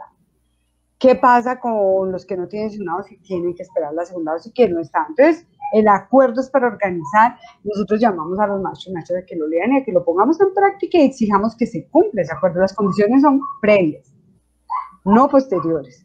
Incluso eh, hay debates porque hay secretarías de educación que decidieron medir el metro de nariz a nariz. No, señores, entre pupitre, entre pupitre y pupitre, y es alrededor, y tiene que haber buena aireación, porque si no hay aireación, no, no basta con que los pupitres estén separados. Tiene que haber aireación, tiene que haber tapabocas, tiene que haber lavado de manos, y eh, obviamente esa es la discusión. Nosotros sí sabemos que los niños y niñas les hace falta, mucha falta a escuela, les hacemos mucha falta. A veces son la única condición que tienen ellos para eh, contar sus situaciones, para socializar, etc. Entonces, esto nosotros no lo negociamos porque se nos dio la gana o tal cosa.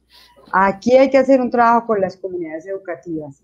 porque Porque yo sí creo que han usado varias cosas para rompernos con las comunidades educativas. Y nosotros tenemos que contarles a los papás, alguien decía, saquen algo bien didáctico para que los papás entiendan cuál es la pelea y que todo lo que se ha peleado, tanto en el paro social como nosotros, es de todos, independiente de que tengamos diferencias de X o Y, eh, de las formas, la pelea que hay y sigue habiendo por la reforma tributaria sigue viva, porque la discusión aquí es que los, sí haya reforma tributaria, pero se la aplique a los grandes ricos y no a los sectores medios y a la canasta familiar, que es insostenible ya, ¿sí?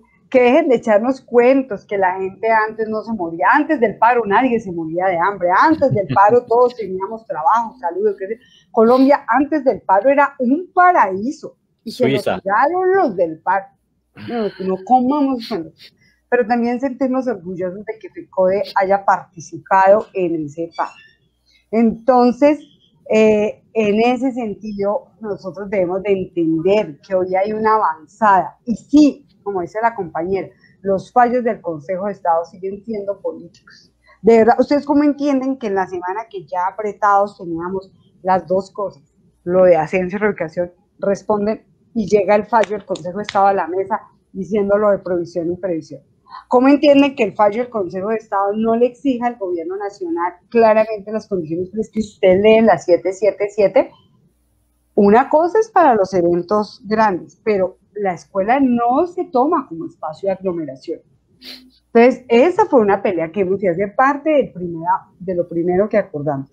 Y esperamos que esta semana que entra se realicen las mesas eh, en cada entidad territorial con el sindicato, la mesa nacional con FECODE, o sea, es FECODE el de la presencia, que se articule todo el PRAS, que es eh, lo de pruebas, pruebas, eh, rastreo, aislamiento sostenible. ¿Qué está pasando hoy? Que los maestros y maestras dicen, ¿qué pasó? Hay unas personas con COVID, ¿qué hacemos? ¿Cómo es que el protocolo no tiene el PRAS? O sea, inmediatamente se encuentra un caso en un salón, se hace el aislamiento y se da la orden de que todas las personas que han tenido contacto y se aplica un número de pruebas en la población, pues si hay síntomas se le aplica cita.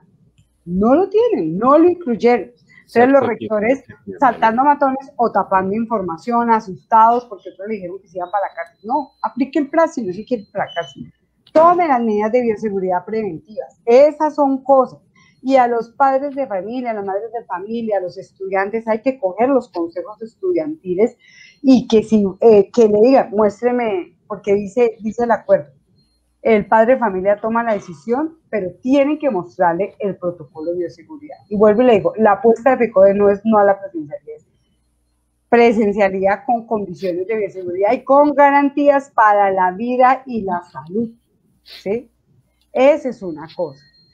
Esa es la discusión que hay hoy en Colombia. Están las dos vacunas que están, los dos dosis, hay unas de una dosis, hay otras que están hablando de la tercera dosis, pero el, el nivel de vacunación no va para que empiecen a aplicar tercera dosis. Y las decisiones que toman personas de no vacunarse son decisiones individuales, respetables totalmente. Aquí hay un debate de violación de libertades, pero también asumimos responsabilidades porque pues tampoco puede decirse, no, entonces yo decido tal cosa y no me vacuno porque es lo que hay, sí, es lo que hay, que te hay prevenciones como en todo. Nosotros somos una sociedad vacunada contra el poliomielitis, los que hace años, yo no sé, algunos tenemos imágenes de que estamos pequeños, llevamos pelados con muletas y todavía hay personas que sufrieron poliomielitis. Hoy la poliomielitis no es tan común porque existe una vacuna.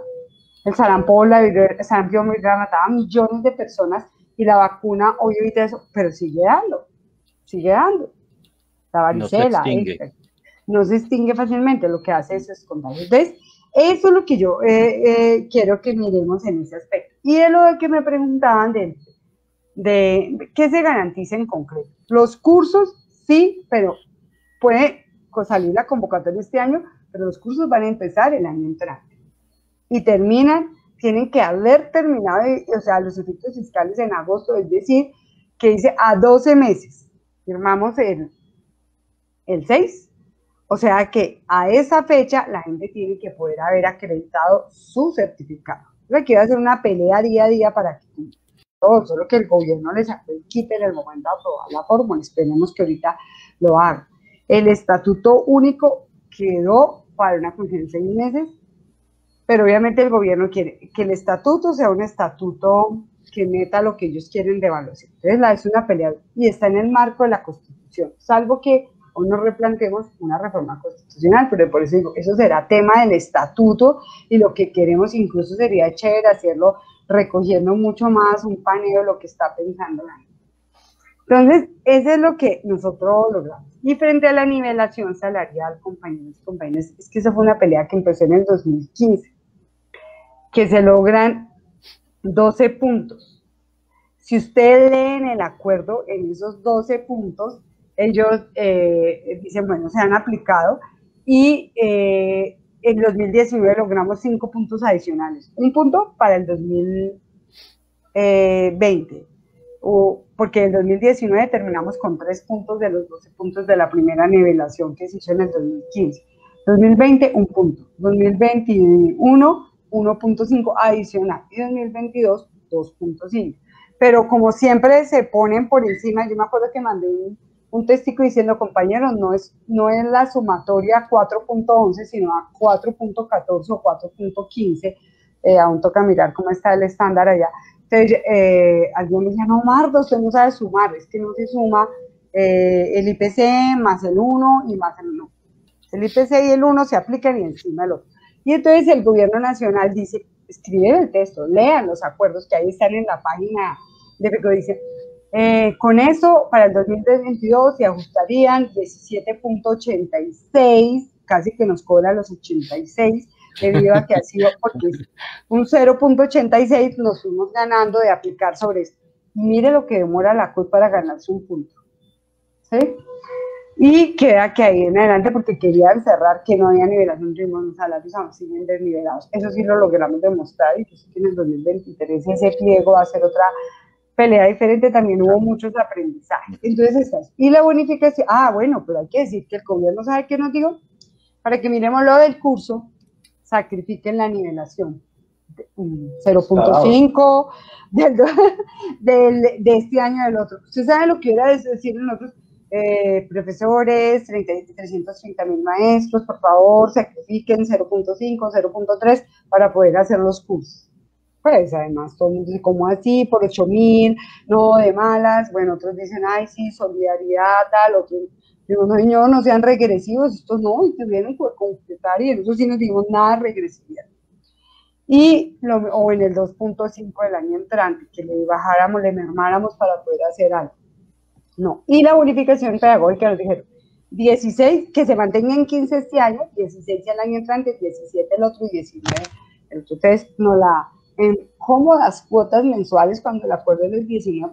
Eso es una bonificación que los estatales la tienen en el 35% y nosotros, los pobres de paseo, y sí, en términos de los estatales, no del resto del país, porque este país está en la inmunda, estamos por debajo del no, es que ustedes tienen, ustedes los que están sentados aquí al frente tienen la bonificación por el 35% en un salario de 10 millones o de 8 millones o de 6 Profesional. millones profesional, entonces cuánto es. Y nosotros nos vienen a decir que es mucho 19% con salarios no profesionales y que son más de salario.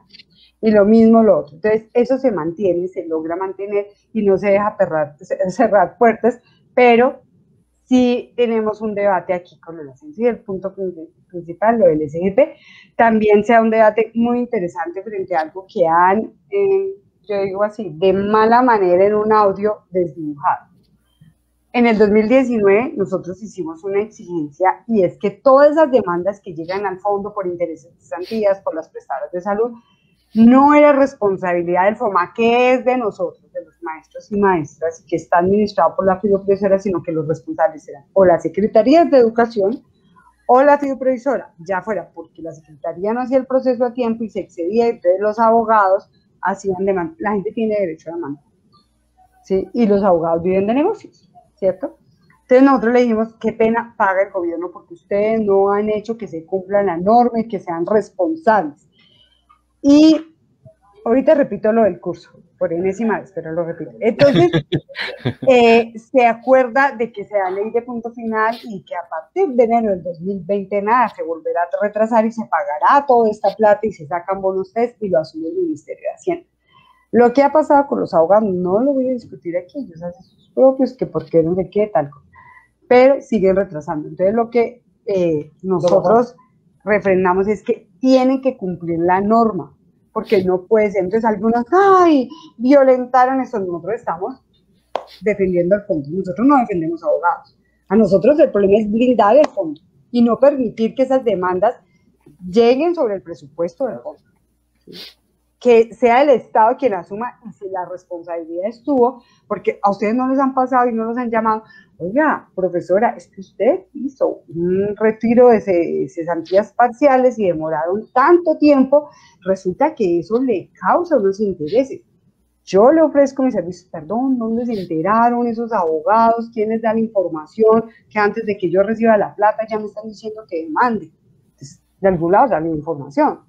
Entonces nosotros estamos diciendo que paguen los responsables, porque retraso, pero no de nuestra plata, porque son los funcionarios que ponen, son ellos quienes dicen. Entonces aquí se deja una, sola, una serie de cosas, nosotros estamos para pliegos de nueva licitación, hay que acelerar la marcha para que esto no se vuelva a prorrogar, eh, sabemos que los tiempos están corriendo, que el paro, que tal, hay una cláusula contractual de cuatro meses, para que podamos avanzar rápidamente. No está fácil la cosa porque ellos quieren meter una sola prestadora, etc.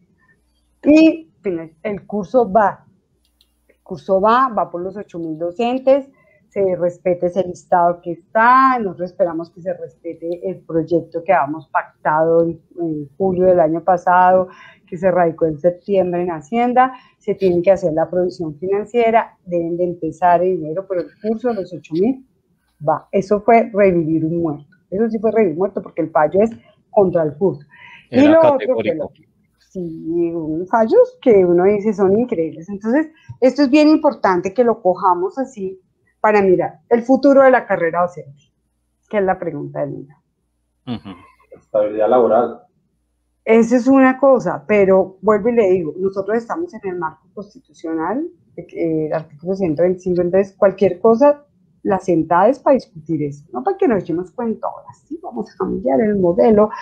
Perdón, el 1278 está vivito, es una evaluación de 80 puntos que corresponde a regla fiscal. Entonces, ¿qué hacemos ahí? ¿Cambiar y volver a examen? ¿Cambiar y volver a, otras cosas? Yo creo de verdad experimentar otras cosas. experimentar otras cosas, ¿sí? Eh, esas cosas nos traen a nosotros muchas inquietudes. Voy a mirar a ver si aquí tengo un texto súper chévere eh, para que lo vean. Lo están viendo ahí en pantalla, ¿cierto? Esto es de vieja data. Venga a ver por aquí, a ver si podemos movernos. Mire, ¿saben qué es esto? Un análisis de la evaluación de competencias. Mire cómo nos entregaban los resultados. Y aquí nosotros descubrimos muchas cosas que yo me había sacado 79, 26 y me ponía 93, 28. Que este se ha sacado 44, 36 y le ponían 90.34. Y entonces este documento, que es un, documento que hay que tenerlo en cuenta porque es el análisis de esa época, de la evaluación de competencias, donde hacemos una cantidad de comparativos. Esta charla era lo más de chévere, por aquí estamos con unos viejos cuates, está Andrea, está Rodrigo, María Orlay, que eran los primeros que trabajamos del equipo de, equipo de trabajo antes de unos grandes. Este documento es, yo lo leí, yo dije, aquí explicamos cómo era que evaluaba, y aquí explicamos la, la, la, la regla fiscal, cómo se aplicaba con la evaluación de, de qué, de, de competencias. Entonces, eh, igual está el debate con la SF. Hay otros documentos muy chéveres que tenemos por ahí en el blog de nuevos maestros, donde ponemos nuestra posición. ¿Qué pasa? Nosotros hemos sido críticos, pero no destructivos. No le hacemos juego al gobierno con unos discursos rimbombantes para acabar con la relación. No, damos debate, sacamos documentos y a mis compañeros materia pero ellos saben que siempre hay propuesta para salir adelante. Puede ser que uno cometa errores, no, puede ser no, nos hemos cometido, no hemos balanceado, pero eso no significa que uno haya traicionado y que no quiera, ¿no? La realidad es esa. Afortunadamente nuestro blog está como chatarrudito y nos toca modernizarlo de los maestros. Eh, bueno, que no me escuche Jesús Villa porque va a decir, vean esto tan abusivo manteniendo este blog, tiene todos estos documentos. Y entonces la gente puede decir los maestros desde 2010 2011 tiene una cantidad de documentos de ámbites que pusimos allí, donde nosotros hemos tratado de buscar en ese, eh, ese debate del futuro. Entonces dimos la pelea por los derechos de carrera y logramos esa eh, circular 11 de, la Comisión Nacional del Servicio Civil, eh, que fallidamente con el 915 afectaron a los compañeros que están en proceso de institución han destituido duro, sobre todo en Bogotá, que no tiene sentido lo que están haciendo. Eh, dimos la lucha para que las convocatorias fueran anuales, así esté pasando esto. Hemos dado peleas para reconocimientos de títulos, bueno, nosotros y otros, porque eso no es ahí sí, para que se reconociera la especialización. O sea, esa ha sido la lucha del 1278, pero hemos podido decir que hemos sido protagonistas en estar en esa pelea y no quedarnos quejándonos. Hay momentos de desilusión, pero lo peor que uno no, como dicen, uno levanta sus muertos, se limpia las lágrimas y la lucha continúa. Y va a continuar y vamos a seguir adelante. Entonces, la, el futuro de la carrera docente depende de unos debates adentro de nosotros y nosotras, donde realmente evaluemos cuál es el mejor camino, donde el problema no es sacar pecho de que yo le dije, si Dios se equivocó y tal, sino decir, bueno, aquí hay un sistema de evaluación impuesto, sistema de evaluación neoliberal, ¿qué vamos a hacer con ese? Lo dice el 1278, lo dice la Constitución, lo dice el 915, lo dice toda la normatividad.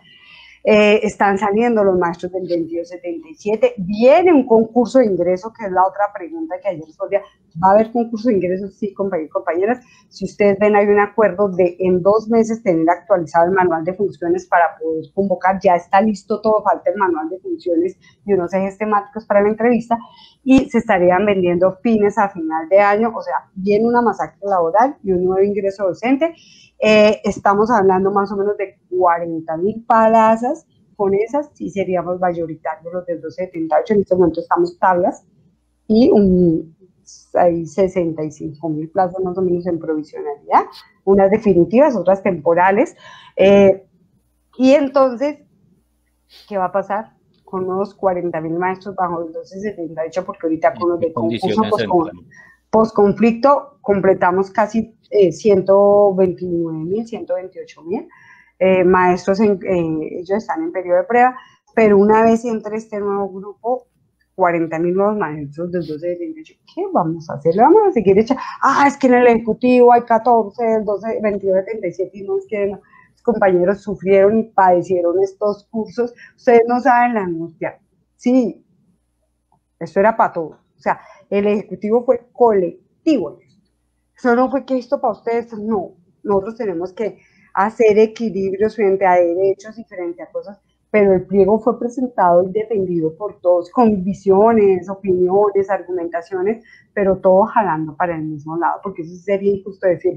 Y tú puedes escuchar una exposición de uno y la hace de una manera u otra, pero todos apuntamos a este debate del forma sistema de participaciones del debate que hay con el estatuto docente, del ascenso al escalafón, del problema de salud, del problema de prestaciones, de las condiciones para la escuela y la presencialidad y de los problemas que tienen que ver con la defensa de la vida, no solo con, con el problema de la pandemia, sino con el problema de la lucha que hay frente a la violación de los derechos humanos. Entonces eso es lo que uno puede decirles ahí. Eh, no sé, otras cosas que hemos hablado. Mira, lo que sí es cierto, de verdad, eh, da, da, da para mucho más. Da, da, cada vez que uno toca un tópico, un aspecto de toda la negociación, da para muchas más cosas y da para mucho más eh, discurso. Eh, vamos un poquito como cerrando el espacio, pero no sin antes eh, ir concluyendo en lo siguiente. ¿Qué nos espera de acá en adelante? Es decir, ¿qué hay que hacer? Porque si bien se da un paso, se dan unas negociaciones, desafortunadamente, el Estado colombiano también firma mucho y cumple poco. Eh, habla mucho, eh, da muchas cifras, pero cuando uno voltea la realidad del país, eh, no se ve reflejado en todas estas cosas que dicen, ¿cierto?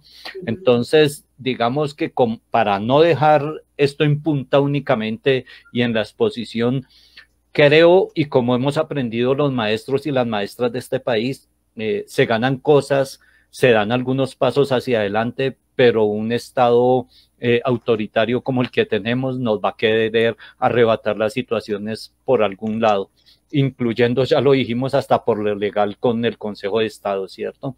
Entonces, Mauricio, Marta, eh, ¿qué tareas, qué, queda pendiente acá en adelante, por favor, eh, para hacer ese llamado con esa ilusión también de seguir avanzando? Es decir, nos queda mucho camino por recorrer digamos que son algunos avances parciales que ojalá en la medida en que nosotros sigamos en las calles, en la movilización y organizándonos, fortaleciendo el magisterio en nuestra organización sindical, eh, sean permanentes. ¿Qué nos diría al respecto, Mauricio, entonces? No, acá lo que queda, compañeros, es apostarle a la unidad. Y en este momento, aunque magisterio está golpeado por aquello de la recuperación, no podemos dejar perder de vista cuál es el objetivo como gremio. Acá nos toca dar un paso al costado, tomar alientos, fortalecernos, recapacitar y analizar como estrategia sindical, política y gremial cuáles han sido los aciertos y cuáles son los elementos para corregir, mejorar y avanzar. Hay que hacer una autocrítica, pero tampoco podemos darnos garrote y, pensar que hay un panorama desalentador, ¿no? Acá hay por dónde coger, acá hay por dónde, por dónde tomar. Los trabajadores nunca la hemos tenido fácil. Desde 1600, cuando se da la revolución industrial, 1800 en Inglaterra, en Francia los aserraderos de Bordeaux, cuando se empiezan a organizar y es la justa lucha de los trabajadores organizados la que conquista ocho horas de trabajo, el reconocimiento salarial, el reconocimiento de un bienestar para las familias y desde allí hemos venido combatiendo y luchando contra los que han estado en el poder. Acá lo único que nos queda es reconocer esa parte histórica, corregir lo que haya que corregir y seguir avanzando porque nos asiste el derecho, nos asiste la razón y nos asiste el respaldo de unas comunidades educativas. Acá días atrás estábamos en las calles diciendo cuánto dura el paro, dure lo que dure, cueste lo que cueste. Ya duró lo que tenía que durar y estamos ahorita con la recuperación eh, pagando porque es que cuando salimos a una convocatoria, a un paro, hay un riesgo.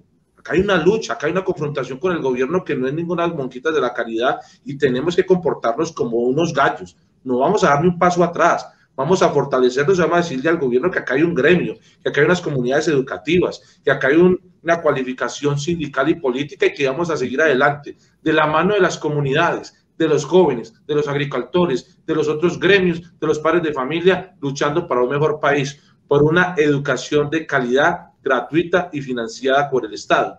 Y como le decía Marta, acá hablamos del curso de los 8.000, que es un logro, pero en realidad hay una congelación del escalafón porque estamos hablando de otros 190 y algo de mil de educadores que no vamos a poder ascender, porque no hay una convocatoria. Acá estamos hablando, de, estamos concentrando de unos 8 mil que quedaron allí porque no pasaron, ojalá hubieran podido pasar todos, pero aquellos que no quedaron en esos 8 mil, pero que lo perdieron, está congelado el escalafón, o aquellos que logramos pasar el, e, ese, umbral, también se congela el escalafón.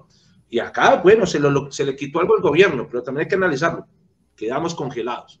Acá el fondo de prestaciones, eh, de hecho, por eso el gobierno ya anteriormente uno solicitaba las cesantías parciales en la Secretaría de Educación y que el trámite, y en esa demora en ese ir y venir era que sortían las demandas. Para poderse quitar el problema las demandas, ya uno hace directamente la solicitud de las cesantías parciales con el FOMAR, directamente para quitarse eh, ese problemita. con la contratación del, prestado, del nuevo prestador de salud, hablar de una prórroga para mí, para mi análisis, es aumentar el mal. Acá no podemos seguirle dando largas a un sistema de salud que a nivel general en la nación es malo. Acá en la región del eje cafetero tenemos a Cosmité en Antioquia, también creo que es Cosmité, y cada día el servicio es peor. Acá lo que necesitamos es que los representantes de FECO en las prestaciones sociales y ante el fondo se pongan la mano en el cinturón, pongan la posibilidad de reclamación como tal y hay que exigirle que cumplan. Acá no podemos darnos de que palmaditas en el hombro, entonces que siga. Bueno, ¿y por qué hay que darle una prórroga? ¿Por qué? Si es que ya nosotros venimos años y años y años analizando y sabemos que hay un mal servicio, sabemos que hay una mala prestación, sabemos de que ahorita con el COVID, Marta, Cosmité se hizo el loco. Acá habían maestros que presentaban síntomas y se demoraban 14, 15, 16 días para hacerle la prueba, ya se habían aliviado. Acá le hacían la prueba y el resultado se demoraba 5 o 6 días. Prácticamente ya también el maestro se alivia. Entonces, ¿qué hacía uno en últimas? Usted tomaba pagaba la prueba en particular, porque es que esperar a que Cosmité lo atendieran, usted con su esposa, con sus hijos, con, con el contagio, pues si fue madre, toca así. Y entonces empieza a estallarse el teléfono del representante del sindicato ante salud y prestaciones sociales de los directivos, nosotros no deberíamos estar acudiendo a ese trámite. Nosotros deberíamos de tener un sistema de salud, por eso somos régimen especial, por eso tenemos un buen descuento de que nos atiendan como debe de ser. Pero Cosmité se está burlando del magisterio, Cosmité se está burlando del gobierno y Cosmité se está burlando de FECODE. Es así. Suena brusco, porque todo no puede ser color de rosa, ¿no? Acá hay condiciones y situaciones por corregir, Marte, tenemos que hacer un análisis, una autocrítica para poder precisamente avanzar. En esas condiciones de seguridad para la presencialidad, tenemos de que muy pocas, muy pocas instituciones cumplen con los requerimientos de, de adecuación de bioseguridad, de dotación, de programas de prevención, de señalética. Acá hemos encontrado en el Quindío una problemática, y es que la ventilación cruzada no se cumple en la mayoría de instituciones educativas. Hay ventanales muy grandes pero no se pueden abrir, es decir, porque tiene una reja, no hay ventilación cruzada. Y si una pared tiene el ventanal y medio se puede abrir, en las otras tres ventanas no hay por donde circular el aire. Eso es un problema. Entonces, acá le dijimos al gobierno, denos las garantías y volvemos a la doble de clase. Tenemos instituciones educativas donde se les digo a los maestros, le dan tapabocas, gel antibacterial, eh, careta, guantes. Hombre, no les han dado ni un tapabocas y no se los van a dar. El personal de aseo, instituciones educativas con mil, mil doscientos estudiantes y uno o dos personas para hacer el aseo, entonces esto es insuficiente. Entonces acá no nos vengan a decir que estamos con las condiciones reales y tenemos gobernantes, alcaldes, gobernadores, secretarios de educación que le están haciendo el juego al gobierno y prefieren arriesgar la vida de sus comunidades, de las personas que votaron por ellos para que fueran, los administraran y estuvieran representados por quedar bien con Duque, por quedar bien con la ministra. Entonces allí también estamos nosotros como sindicato orientando a que llenen los formatos de las comunidades educativas, a que los maestros puedan pasar el reporte y podamos evidenciar. El decreto salarial, Marta, estamos esperando que salga, pero hay que hacer una claridad. El gobierno tiene hasta el 30 de diciembre para poder emitir el decreto salarial, para poder actualizar salarios y generar una retroactividad, que generalmente se hace entre abril y mayo, porque sale el decreto, al mes hace la actualización y a los dos meses es retroactivo, pero por ley se pueden demorar hasta 30 de diciembre, compañeros, así que no, no es de susto, pero es lo que hay en la norma. O sea, uno tiene que también, una cosa, yo anhelo, ojalá no llegan el retroactivo de la entrante, pero hay que tener también los pies puestos sobre la tierra. La bonificación pedagógica, este es de, en los acuerdos es del 19%, el gobierno lo incumplió, eh, este año lo pagaron con el 15% y se espera para el año entrante, ya se puede este reconocer, para este año y una vez, del 19% porque él lo incumplió pero a los que ya nos pagaron esa bonificación pedagógica que se hace cada año, ya nos dieron el 15%. El preescolar de tres grados, desde el 2019 se creó una comisión de alto nivel para hacerle seguimiento. Eso no se va a dar este año y posiblemente el año entrante tampoco, porque acá estamos hablando de que hay que hacer una adecuación, una inversión de infraestructura en las instituciones educativas y el gobierno lo que menos quiere en este momento es dar plata. No hay plata para comprar un tapabocas para nombrar personal de aseo van a hacer y construir nuevos salones con todos los elementos que ellos trae. Chévere, muy bacano y ojalá se dé, pero yo estoy muy, yo pensaría que este año no se da y posiblemente el año entrante tampoco. Hay que estar pendiente del seguimiento. El Estatuto de la Profesión Docente se viene construyendo desde el año 2011. Hemos asistido a dos congresos, se han hecho unos aportes, se le han hecho unas adecuaciones, se le han hecho unos cambios. Para eso sí necesitamos una gran convocatoria, una gran unidad y necesitamos prácticamente hacer un paro.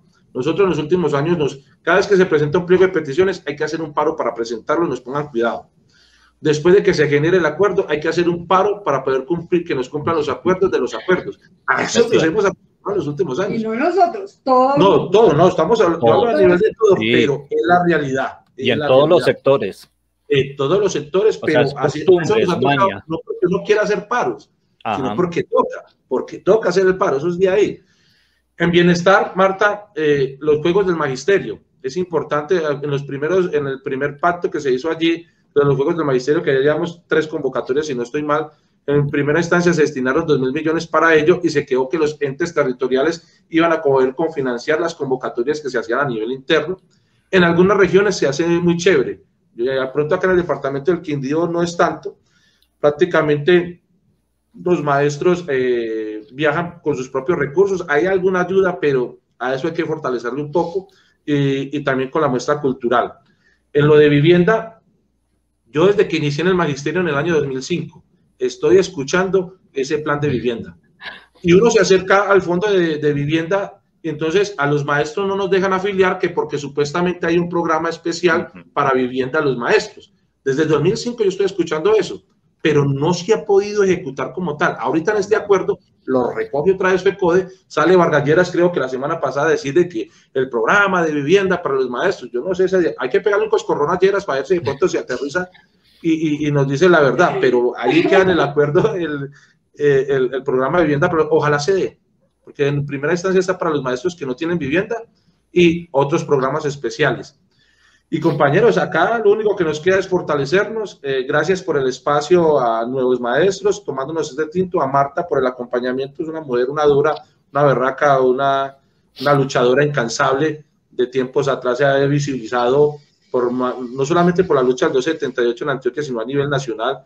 Creo que FECODE ha hecho una muy buena representación. Desde las regiones seguimos acompañando, fortaleciéndonos, creciendo como corriente magisterial y esperamos entonces que podamos lograr con estos acuerdos a generar una unidad, a tener un magisterio más cualificado. Sabemos de que hay dificultades, pero esas dificultades hay que convertirlas en fortalezas y vamos para adelante. Vamos a seguir construyendo, acá hay cómo hacerlo, tenemos gente berraca para poderlo realizar, tenemos unas comunidades estudiosas, tenemos eh, un despertar del pueblo, porque por fin estamos ya llegando a ese despertar, ese análisis. Esos, esos chicos que están en las calles, en las universidades, en los colegios, los que salieron al paro son producto de un análisis que ellos mismos hacen. En este momento no hay quien los gobierne, no hay quien los representen, pero ellos son analíticos y también, hombre, tanto los medios de comunicación, los influencers y youtubers que están de parte de estos muchachos es muy chévere. Como decía Benito, Benito Juárez, malditos aquellos que con sus palabras defienden al pueblo, pero con sus hechos lo traicionan. Maestros unidos jamás serán vencidos. Muchas gracias. Muchas gracias a ustedes. Eh, sabemos que tuvieron una jornada de trabajo, que digamos que eh, estamos acá coleteando, coleteando el día y la semana, eh, que no ha sido como siempre nos sucede acá fácil porque en el magisterio casi que nunca hay descanso. casi que todo nos mantiene en constante movimiento, en constante aprendizaje, investigando, cuestionando y preguntando. Es importante todos los aportes que ustedes han hecho, como siempre, este espacio. Pero no he terminado. No, no, no, tranquila que, que, que ya doy la palabra, Marta. Que es que estoy, estoy recordando que este espacio está abierto precisamente para el debate, para toda esta situación, que ojalá no sea la única vez en que ustedes vengan, sino que creo que ya hay unos temas ahí planteados y un compromiso eh, para seguirlo retomando desde las regiones, desde Bogotá, desde donde podamos hacerlo y seguir como entre todos aportando y apoyando a esto. Eh, Marta, ¿cuáles preguntas usted dice que quiere eh, responder, que quiere que no dejar? La, de vivienda. Bueno, Mauricio hizo aquí un rastreo como, como es típico, un paneo rápido. regional, dicen, nomás echar cuento, te quiero mucho, te acompaño, pero no, no, aquí estoy. No, un poquito, Y eso que, que vi muy neutro. Imagínense, está moderado, es una manera todo el tiempo. El trabajo desde donde estábamos diciendo, pero vez no sé qué, ustedes, bueno, siempre pasa, y uno ahí ejecutivo, pues sí se le revela.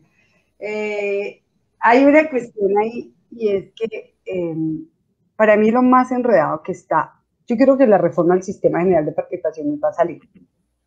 Y se puede hasta consensuar por ¿Sabe cuál dónde está el debate? No en la financia, en que haya plata, en que pues se le asigne plata, sino en que la educación deje de ser administrada por el Estado. Llámese proyecto de Cabal, llámese referendo de Uribe, la pelea de ellos es quítale plata, pero concesiónela como la salud. ¿Cuál es el problema eterno de la salud? La privatización, que está por medio de la ganancia, y todo, o sea, no solo la de nosotros, sino la de todo el país. Yo creo que se puede sacar la reforma al SGP, pero la pelea aquí es porque sea administrada por el Estado y por eso los papás hay que contarles que nos quieren sacar del camino para que no defendamos eso, para que no, o sea, no haya posibilidades. Esa es una cuestión. Yo creo que el gobierno, la, o sea, prefiere discutir estatuto antes que otra vez. Ahí es donde está la situación más dura, o sea, la cuarta corte está ahí, pero no está, dicen se va a hacer la apropiación, pero prácticamente se hace para que empiece el año entrante y efectos fiscales sean en el 2023, entonces toca presionar. Pero nos quieren meter en un debate de evaluación que para cambiar el instrumento, el instrumento puede cambiar, pero quieren enredarnos ahí durar un año, dos años discutiendo eh, con toda la sociedad para al fin no hacer movimientos y que Entonces ahí es un punto de riesgo frente a esos riesgos que me ponen compañeros.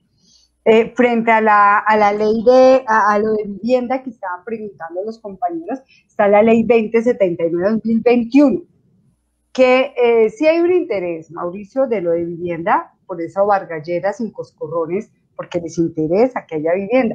¿Quiénes tienen al menos un salario para endeudarse? Pues nosotros y nosotros. Entonces, se acuerda hacer la reglamentación para que podamos acceder, porque hay un artículo para eso, eh, dado que nosotros somos empleados oficiales, o sea, no somos muy llamativos para endeudarnos. Entonces, eh, creo que el coscorrón no es tan grande porque les interesa que se muevan estos planes. Ustedes ven eso, pero obviamente que nos acojan los beneficios que hay para toda la población, porque hay muchos maestros y maestras sin vivienda. Ese es un punto que teníamos allí. Hay un debate que yo he tocado de ladito lo de el, estatuto, yo creo que paga ser un buen panel aquí con debates, incluso con otras posiciones, etcétera. El espacio, pues obviamente, compañeros y compañeras, con todo el respeto, aquí hay conectado gente de otros equipos, de otras fuerzas, es de nuevos maestros por la educación, los profes, el colectivo sindical y todos los colectivos que se han venido sumando, somos equipos, somos propuesta, somos un equipo de trabajo eh, que tiene eh, ya representación en varios departamentos, eh, algunos juntas directivas, subdirectivas, delegaturas, que se han venido sumando a una apuesta, a una propuesta, somos equipos, somos propuestas, si yo soy la, tenemos una coordinación nacional, soy la vocera nacional, tengo el orgullo de ser una fuerza política donde la cabeza es una mujer y nuestra composición en la dirección son varias mujeres, tenemos a Andrea Sandino, tenemos a Cristina Muñoz de, de, Rizaralda, tenemos a Amparo Jiménez en Nariño, tenemos a la compañera Patricia Polanía en el Huila, de, entre unas de las representantes que tenemos, además de otra cantidad de compañeras que hacen parte de nuestra corriente, y también está el compañero José Luis en Bolívar, están los compañeros de Atlántico, que es un colectivo muy chévere que viene trabajando allá, tenemos colectivo en el Magdalena, ya con la compañera eh, Yajaira, con Marlene, hemos venido haciendo un trabajo con Sandra, Laura, un trabajo muy chévere con bastantes mujeres, a Mauricio que está aquí en el Quindío, Alexander que estuvo en la Junta de Educal y sigue cumpliendo su tarea, eh, y eh, venimos con el compañero eh, John Ávila en Huila trabajando, que no se me escape, con el compañero Martín Cruz en Norte de Santander, eh, con los compañeros de Boyacá. Entonces, nosotros venimos se me escapan algunos departamentos, tal, etcétera. ¿Y por qué lo contamos? Porque hoy nos preguntan, venga, pero ustedes hacen un trabajo muy chévere de construcción, de sumatoria, de trabajo, de sacrificio, sí señor, con la mamá, con el abuelo, los hijos, las hijas, para poder construir una propuesta que tiene además un debate de qué es ser lo sindical, cómo se relaciona con las comunidades, unas propuestas pedagógicas y unos espacios que venimos construyendo, participando en nuestros sindicatos e impulsando. y obviamente los estamos y las estamos invitando no solo a que nos acompañen en este espacio, eh, cuando eh, o en otros espacios que generemos como equipo, sino a que se conecten con nuestro equipo, a que se vinculen, a que armemos equipos de trabajo, que parte de Somos Equipos, Somos Corriente. Creo que no solo hemos crecido porque eh, no le damos nada más a cambio, solamente de trabajo, ¿sí o no, Mauro? Todos lo tenemos, pero sí tenemos una expectativa de lo que es estar en el movimiento sindical y para nosotros estar en el Ejecutivo es una responsabilidad, es un compromiso eh, que tratamos de cumplirlo lo mejor, así me den manera, sin nada en crítica la leo y trate de mirar en qué tienen razón para que nos construyamos, para transformarnos, para también deconstruir muchas cosas de nosotros mismos y para hacer esa propuesta de transformación y cambio. Nosotros tenemos, bueno, hay otros compañeros que no nombré ahí, que van a decir que no me nombraste, pero bueno, la próxima vez doy otros créditos. Oiga, eh, que se me olvidó, mis disculpas, que la próxima te Listado, el listado. Por ahí, por, ahí escribieron de Nariño.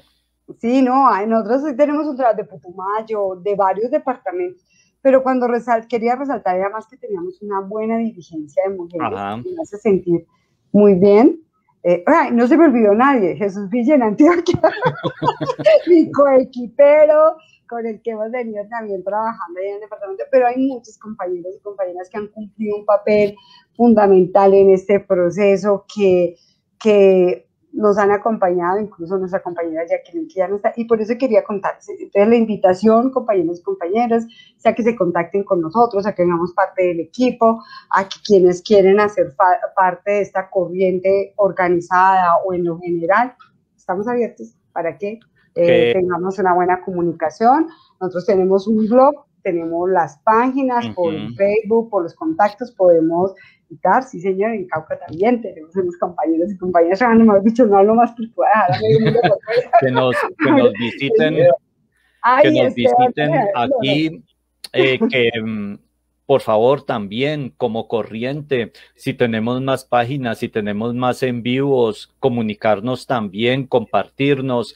Eh, los invitamos a buscar también, hay varios en vivos en esta misma página, los invitamos a ver porque hay muchos debates y muchos temas que son comunes, así estemos en diferentes eh, lugares de Colombia, pero creo que hay una unidad en cuanto a la lucha, en cuanto a los aspectos, las reivindicaciones, la necesidad de organizarnos, visitar nuestro blog, solo es poner nuevos maestros por la educación ahí en el Google y ahí aparece el blog.